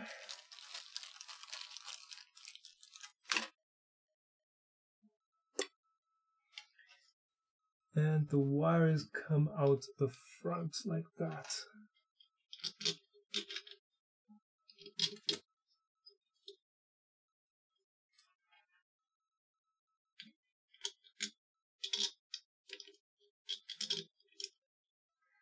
Uh, just make sure that loop doesn't touch the hotbed. Um, yeah, there is. If you look at that, there is. That's. Do I have? Yeah, I have a a construction square.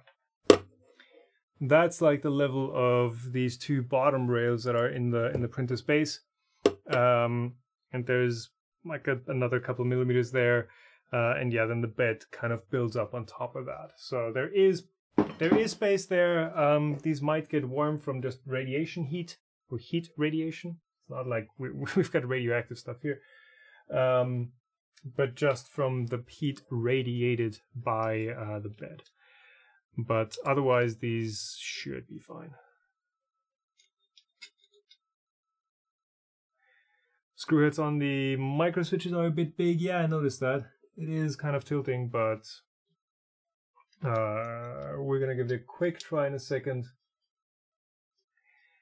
and see how well everything fits together. This is, by the way, this is way more torque than what the Bosch Go would apply. This is just by hand, holding the short end.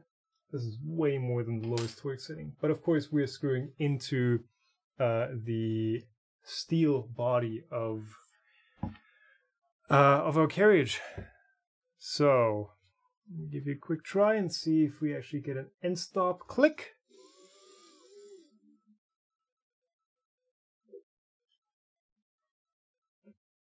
No? Probably probably banging into some wiring somewhere. Get all of that out of the way. Yeah, there it is. So there's that.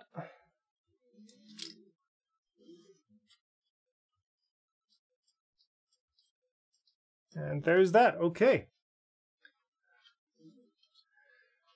So X, Y, click their end stops. Um, wire is all through. Drag chains are mostly adjusted. Belts are fairly tight. Z-axis belts are, are tight. Somebody noted um, that, yeah, Z-axis belts always need a bit more attention than you think. These are these are on the high side of tension. Uh, microswitch screws should be flatheads. Yeah, they're they are a weird shape. So I guess now it is time to move on to the electronics and to get some parts mounted.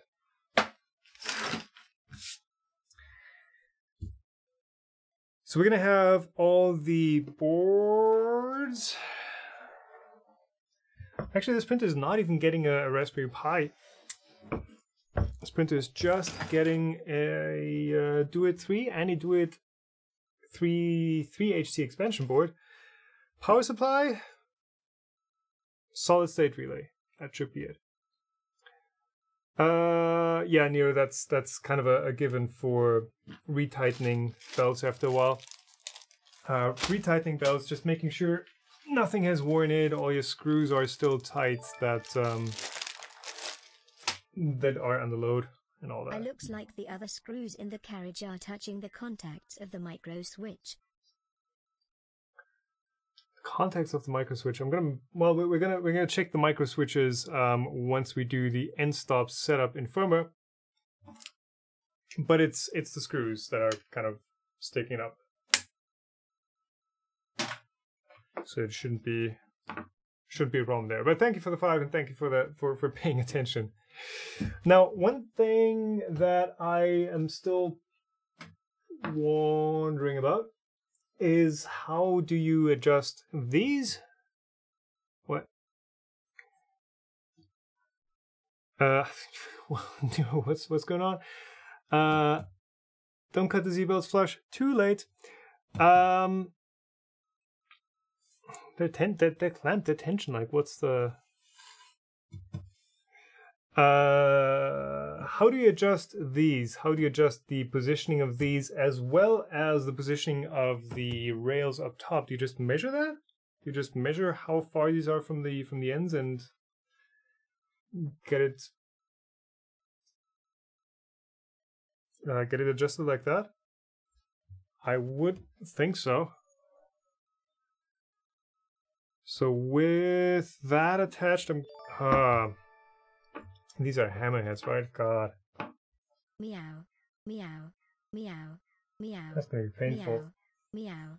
Meow. Meow. Meow. Meow.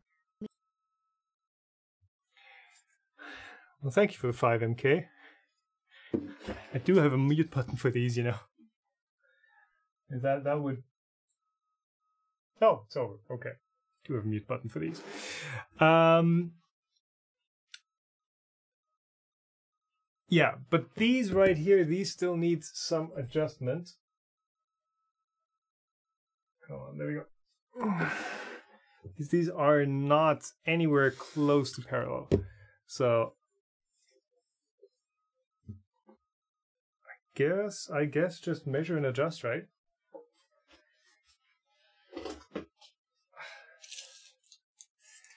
Don't need adjustment, but we're gonna mount a bed on these. And if this is like hold on. Uh, if this is like way crooked, then that's not gonna line up. So if you do that, yeah, like this one is three millimeters off. This one doesn't even this this one's not even going to meet the center of the slot. So um supposedly you're just you're just using three of these, but I'm just I'm just to measure. That's that's the that's the way forward that I feel the most comfortable with. So these have it I, I could I could measure this from the CAD, but yeah. Um 13.2 in the center. 13.1 over here, so that should be 13.3 then. That is 13.3, which means one millimeter more here, 13.1, so this side is 11.9 and 13.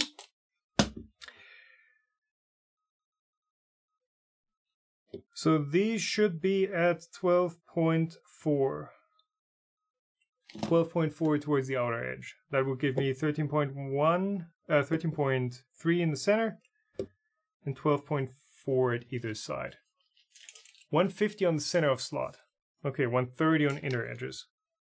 Mm, that makes sense. So that means we've got 42 here, then it's 150, 150, 170, so that would be Uh, that would be difficult math. 42 minus 17 is 25. So 12.5 on either end. So 12.4 was pretty pretty close. 12.5. And like I said, we're at 11.9 here. On, on a build where everything is meticulously adjusted and kind of you know, where you try to get everything perfectly, not adjusting something like this feels wrong. Even though, yeah, it might not be a problem, but it, it does feel wrong.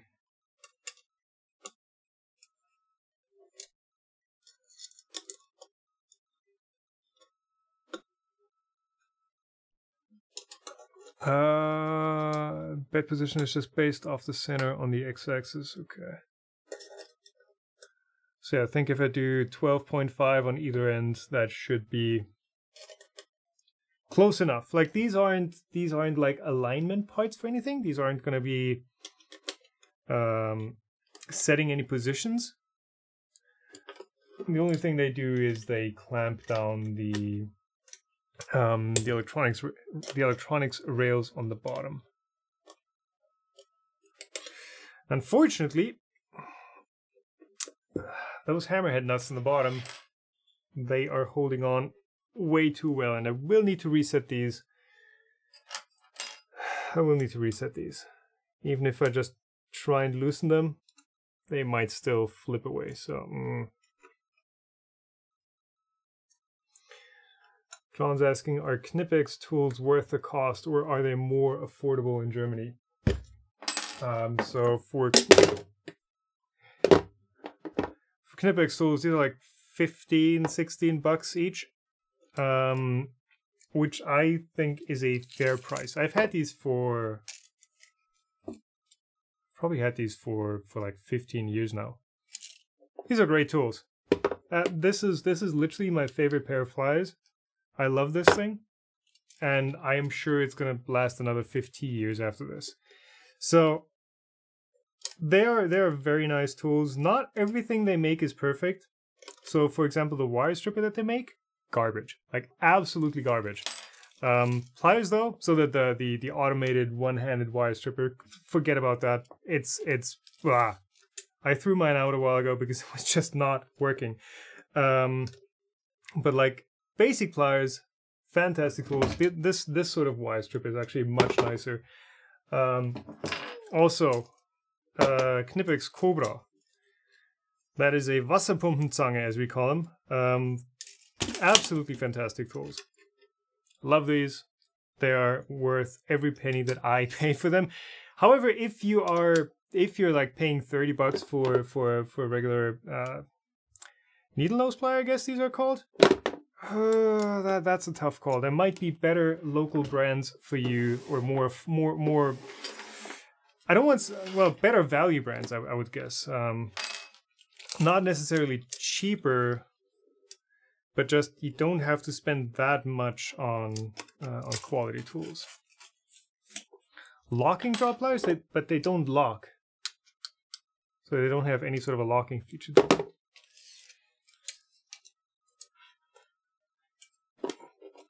Why are you so tight? Did they miscut the acrylic panel?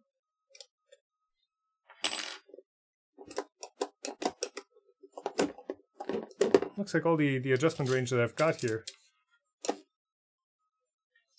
Because if I do 12.5 on this end, then I can't do 12.5 on the other end. I might need to open up the uh, the screws on the bottom a bit more.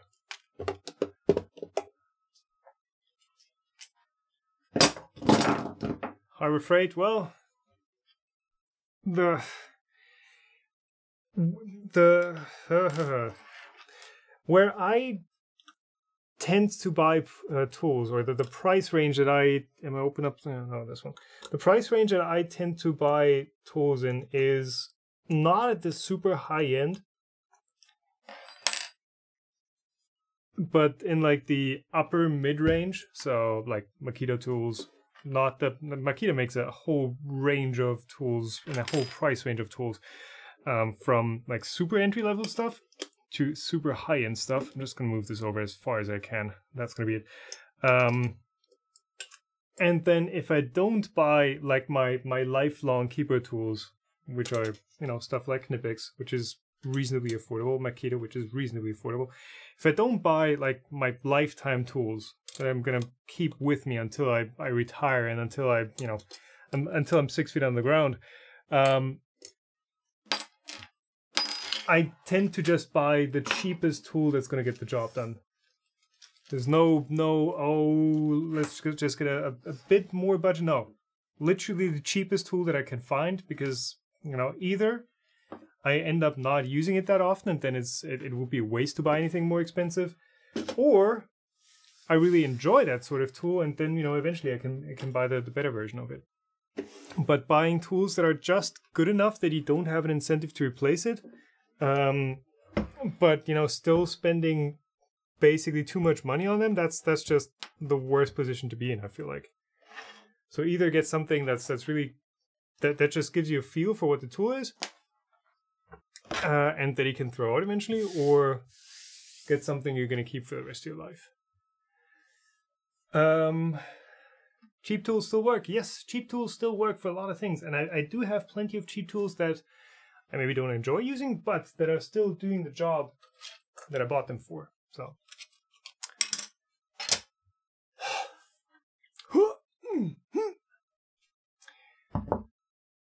Wera, yeah, also German. Um, also make fantastic tools. I do have these are actually these are uh, screwdrivers, um, and I think I also bought these like 15 years ago.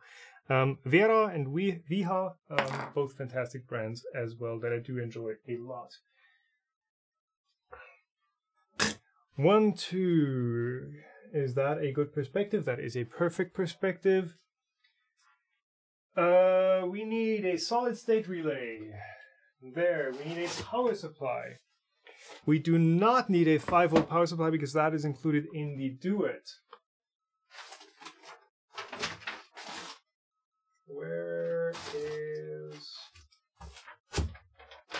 that clamp for the power supply for the SSR?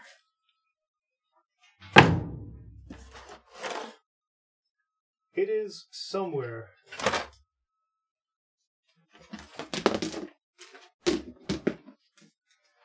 Okay, SSR clamp. Well, we're gonna find that when we when we need it.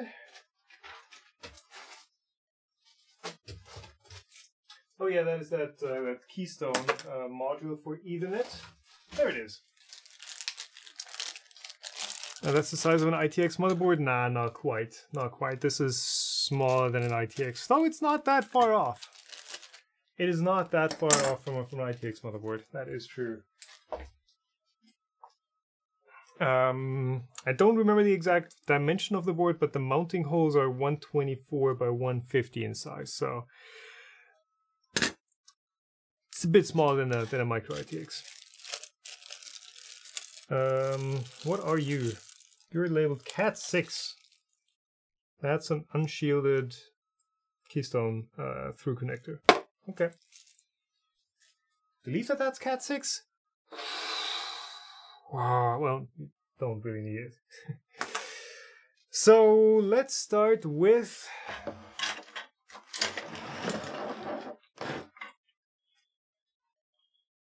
Duets. it. So we have wiring length. I think plenty of wiring length, so we can reach. That's also the the length that I cut these um, these motor wires to. So it was basically, hey, diagonally, I want to be able to reach any position in the uh, in the bottom compartment here.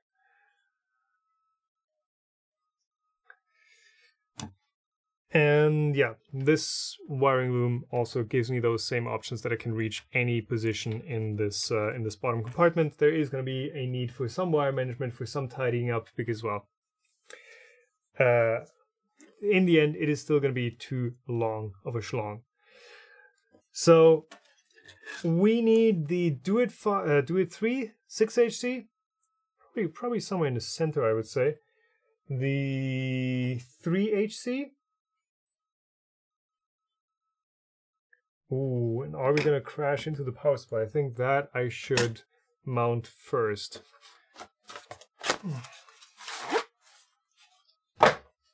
So this is gonna get mounted with the bottom screws here.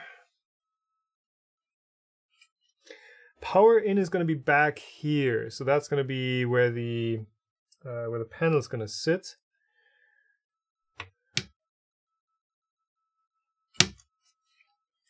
So if we do that, then our power in, our um, protective earth, neutral, and hot sides are going to be closest to our power in. I kind of don't like that our wiring loom is like right next to the power in.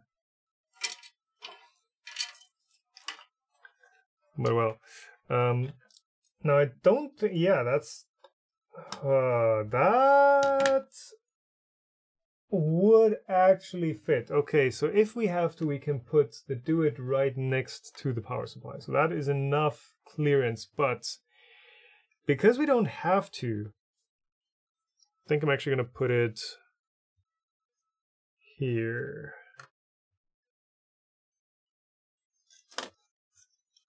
Well, Ethernet is gonna get gonna need to get routed somehow. That again is still going to reach, yeah. I think that would be a good option like this. And then we can have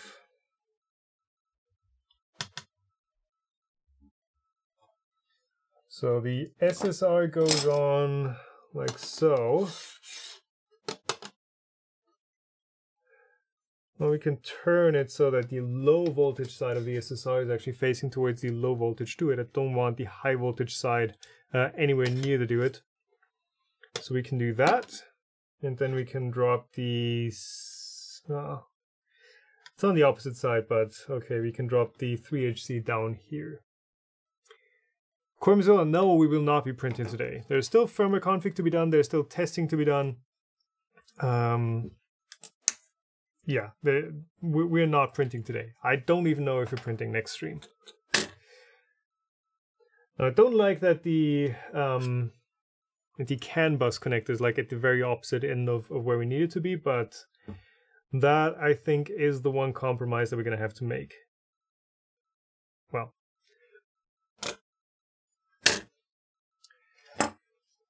So with why oh you are the wrong bracket.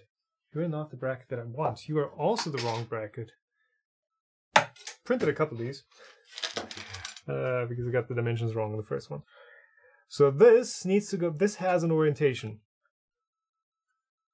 And it is not this because this is 124 by uh, 124 by 130, so this needs to go on like this. We set CAN port up top, which means our mount needs to go on like this. And I did put in the proper countersinks so that I wouldn't be shorting out anything on the bottom of the uh, of the duet.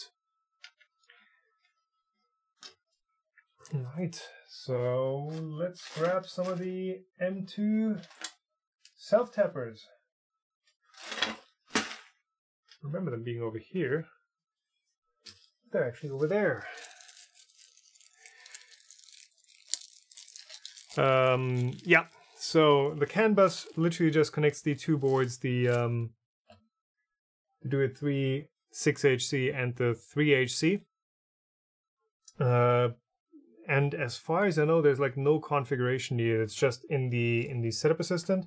You just tell it, hey, yeah, I've got uh, this expansion board connected, and that's it. Uh, ditch the gold SSR. I'll try the gold SSR for now. I don't have anything better than that because if you buy like a Fotek on, on AliExpress, you get the no name. you get a no name uh, product instead. So I wouldn't really know what else to use instead.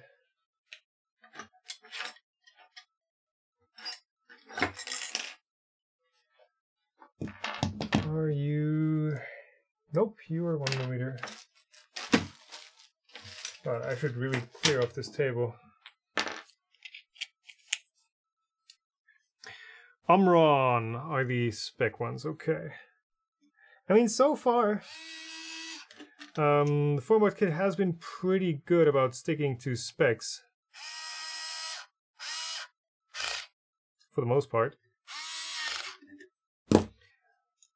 but I guess when they see a chance to save some some money, then they will take it. So theoretically,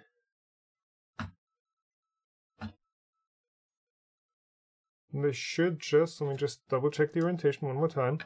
Yeah, this should just oh oh I still need to tighten you. Yeah, I would have I would have forgotten. Okay, that should just snap on, and that's an electronics mount. Not super rigid or anything, but I guess it's gonna do.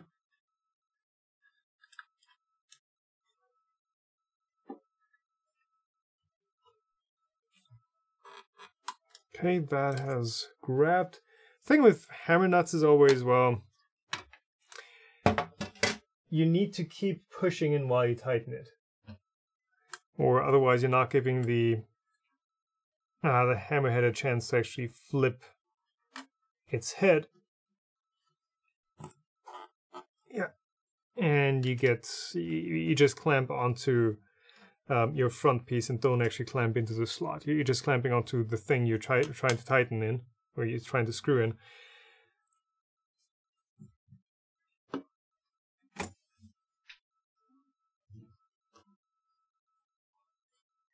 And that doesn't make for for a connection that's worth anything.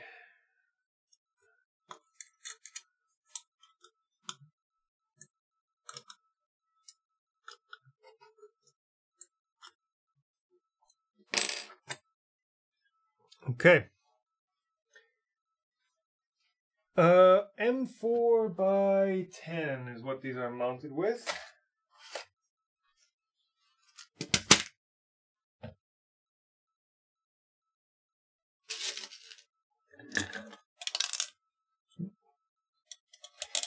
And then, yeah, we're going to use the uh, Duet Web Control, just the built-in Ethernet-based interface uh, for controlling everything.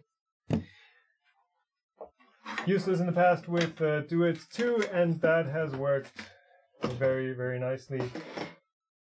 There is also the option to connect um, the Raspberry Pi that is actually included with the kit. Um, there is the option to connect that Raspberry Pi to the Duet as well. That's what this uh, this header up here is for but that that mount is very flexy. Um, but that is not really needed. I think. Well, I've not used to do it uh, with the Raspberry Pi's interface, but yeah. So do these uh, these DIN rail mounts do these get secured in any way, or is this just is that all there is? Because that doesn't look very secure to me, to be honest.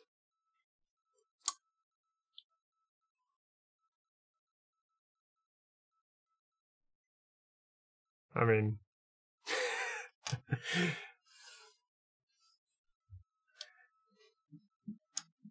don't think I have anything, any any other way of mounting this, uh, except for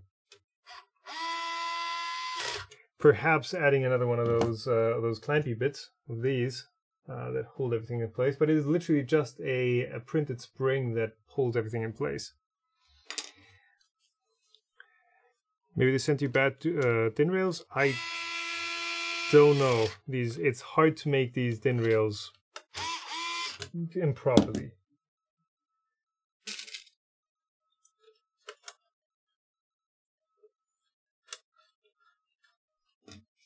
I mean, I guess once it's once the printer is actually upright, shouldn't be much of an issue. Rotate 90 degrees? What is what is 90 degrees gonna do me? what is what is that gonna help? Use some gaffer tape to make a tight fit on the DIN. That's a good suggestion actually. Uh, thanks for the tip and thanks for the two car. I'm gonna try that because I do have some. If I have something, then it is uh, copious amounts of gaffer tape.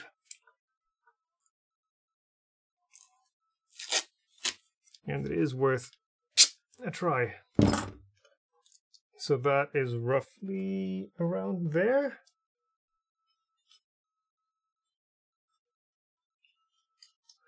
So just to build up the rail a bit and to, to add a bit of of beef to it. Oh, now now everything's black. Fantastic.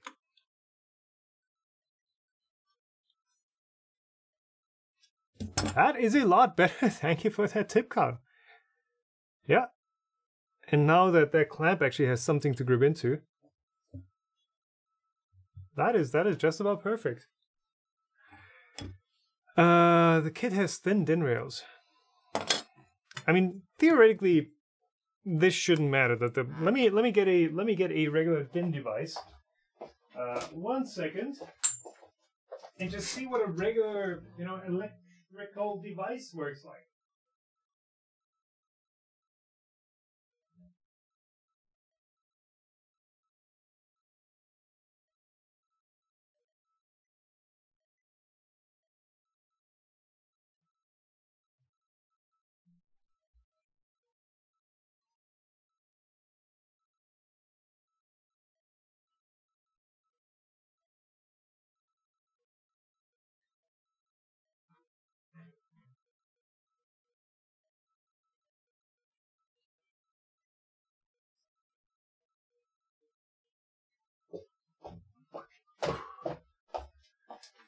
So here is a uh, just a, a little you know rail mounted uh, single phase power meter. And the way this is mounted, it has uh, one fixed side and one side that you can actually um, lock in place and you can unlock by sticking a screwdriver in there. So this is actually one of, of the devices that you would typically mount to a DIN rail like this. And it's a bit loose, but it's it's fine actually. And the thing with these DIN rails is there is there is a certain amount of you know flex take up in these devices just by by the way they are spring mounted. So I don't think that that would be an issue. It's just well, this board is rather heavy and these printed springs aren't the strongest. So that works, and even in a in a in a sub panel, um, you can still move these around by, by hand. Um, they're typically mounted, you know, horizontally, and uh, there's a front plate to it that keeps everything in place. So, yeah, um, that that rail is that rail is okay in my book. It's just the combination of the heavy board and the uh, printed mounts, the printed clamps. Okay, next we need one more printed yeah, we're gonna need the gaff tape again in a second. Uh, one more printed clamp and the mount for the 3HC.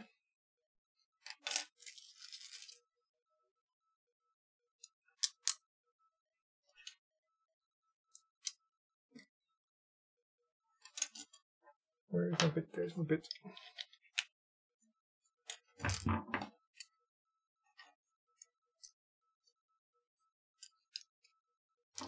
I mean, I guess there is a standard for DIN rails. And these rails, as far as I'm concerned, should be within that standard for DIN rails. What's also cool is that they, you know, that these are technically the wrong types because they only have slots for M4, where you would need, for, for this particular build, you would need some with an M5 slot or a 5 millimeter slot. Um, but, well, we can make it work. So roughly, actually let me add the board first before we uh, try and mount it somewhere.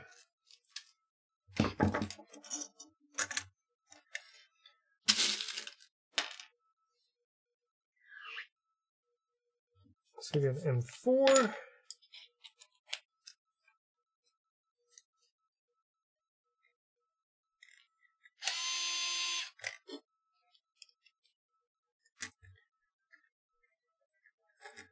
AliExpress out of standard, that never happens well. Not much of a surprise.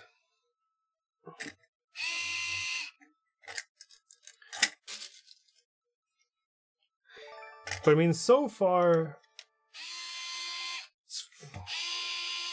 So far the kit is pretty good. I mean, really, the rails are the only thing that I that I remember not being like properly at spec. Maybe the drag chains, yes, sure that they they could have included different ones that work better. But yeah, so far it's decent. It is it is certainly usable. Going like this, like this, or like that.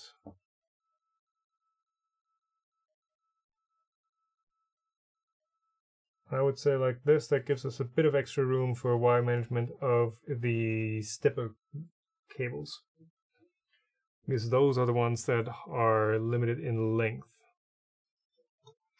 So you go here. Yep. Which means also, yep, a bit of uh, gaff tape underneath.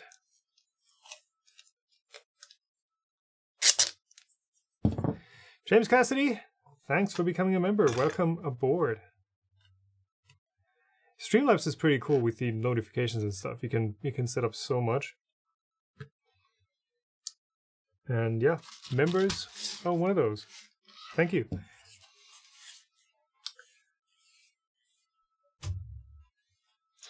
What is my plan with a huge extruder with a huge hot end? Well, print all the things. Hopefully, um, print some PIF parts if it's good enough. Oh yeah, by the way, um, yeah, and uh, some other plans for making this a high output machine. Uh, this is the clamp that is included with uh, with a kit for the SSR. So this has I don't know what these hooks are, but this hook up front here and these hook in the backs, these hooks in the back. So between there and there is where you hook in that DIN rail, and that's the release. Either press that uh, or you stick a screwdriver in here. So this is heavily spring loaded. So it just really grabs onto that DIN rail. Yeah, and this is that is going nowhere. Like sure you can push it, but that is really clamping on strongly. So if you have a proper clamping mechanism, your DIN rail spec really does not matter. It doesn't matter if it's like thin, as some of you have said, uh, or thicker. It does kind of doesn't matter in the end. If you have something that properly clamps onto them. M4.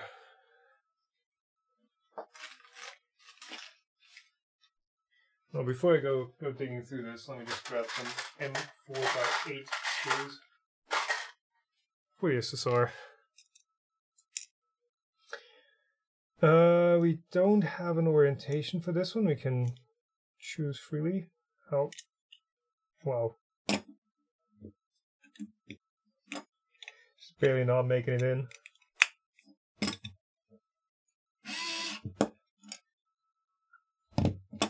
Guess these can stick out quite a bit.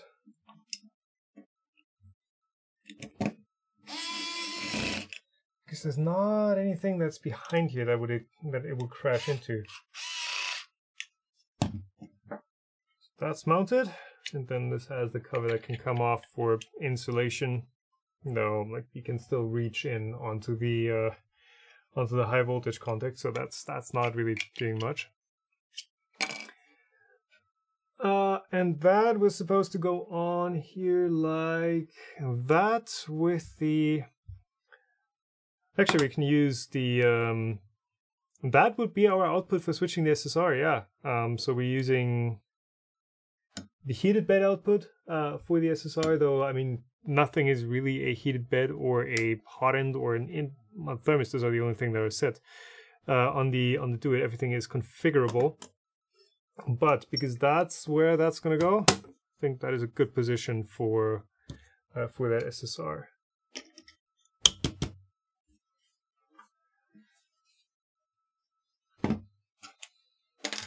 What made you choose a Voron instead of a, a rat rig? Well, people were talking about a Voron, so I thought I should build one of those. And and the decision to build a Voron was I, I made the decision like two months ago or something, at least two months ago. Um, waiting for parts to get here, organizing everything. It's just, you know,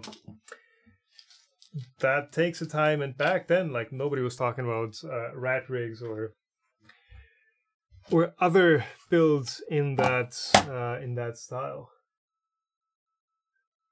Power supply. Now the power supply has special brackets for it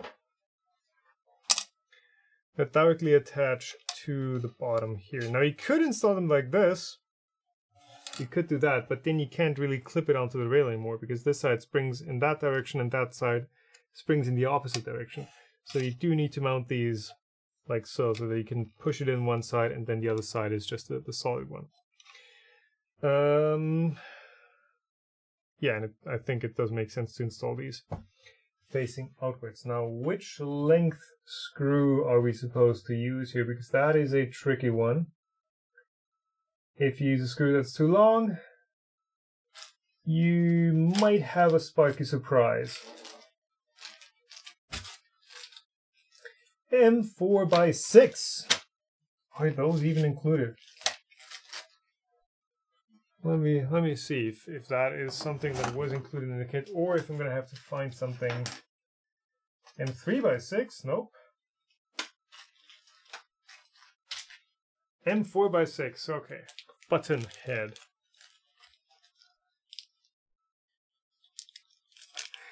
Smoportis. Um, yeah, I mean, one of the reasons why I built this is well, for, for a lot of people that are watching and maybe playing this these streams uh, while I build. It's just so you don't make the same mistakes that I do, or that I make. Um, so far, I feel like you know the build has been rather smooth with not a lot of backtracking, but I have had builds where I had to like completely disassemble an entire part again because I, I built one part wrong. So, yeah, so far so good. And I know people will be, be having these streams on while they build another Voron in the future. Um, that is the default comment. Oh, didn't see that. Uh, that is the default comment on these build live streams where it's like, oh yeah, I'm watching this while, while building uh, one of these too. So we're going to need some more gaff tape here because this really isn't holding on all too well. Gaff tape. Gaff tape. Yeah, the gaff tape trick, the gaff tape trick is working uh, pretty well. I also have the internet working, uh, helping out. Yeah, I have uh, devs watching me mess up, and that that both puts me on edge, and but it, but it also helps when there's stuff unclear.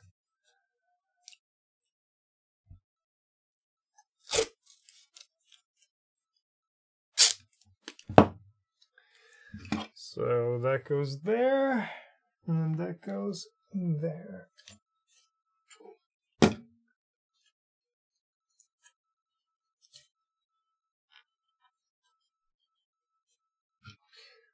So then we go that and over here. Okay, and that is holding on a lot better. Okay.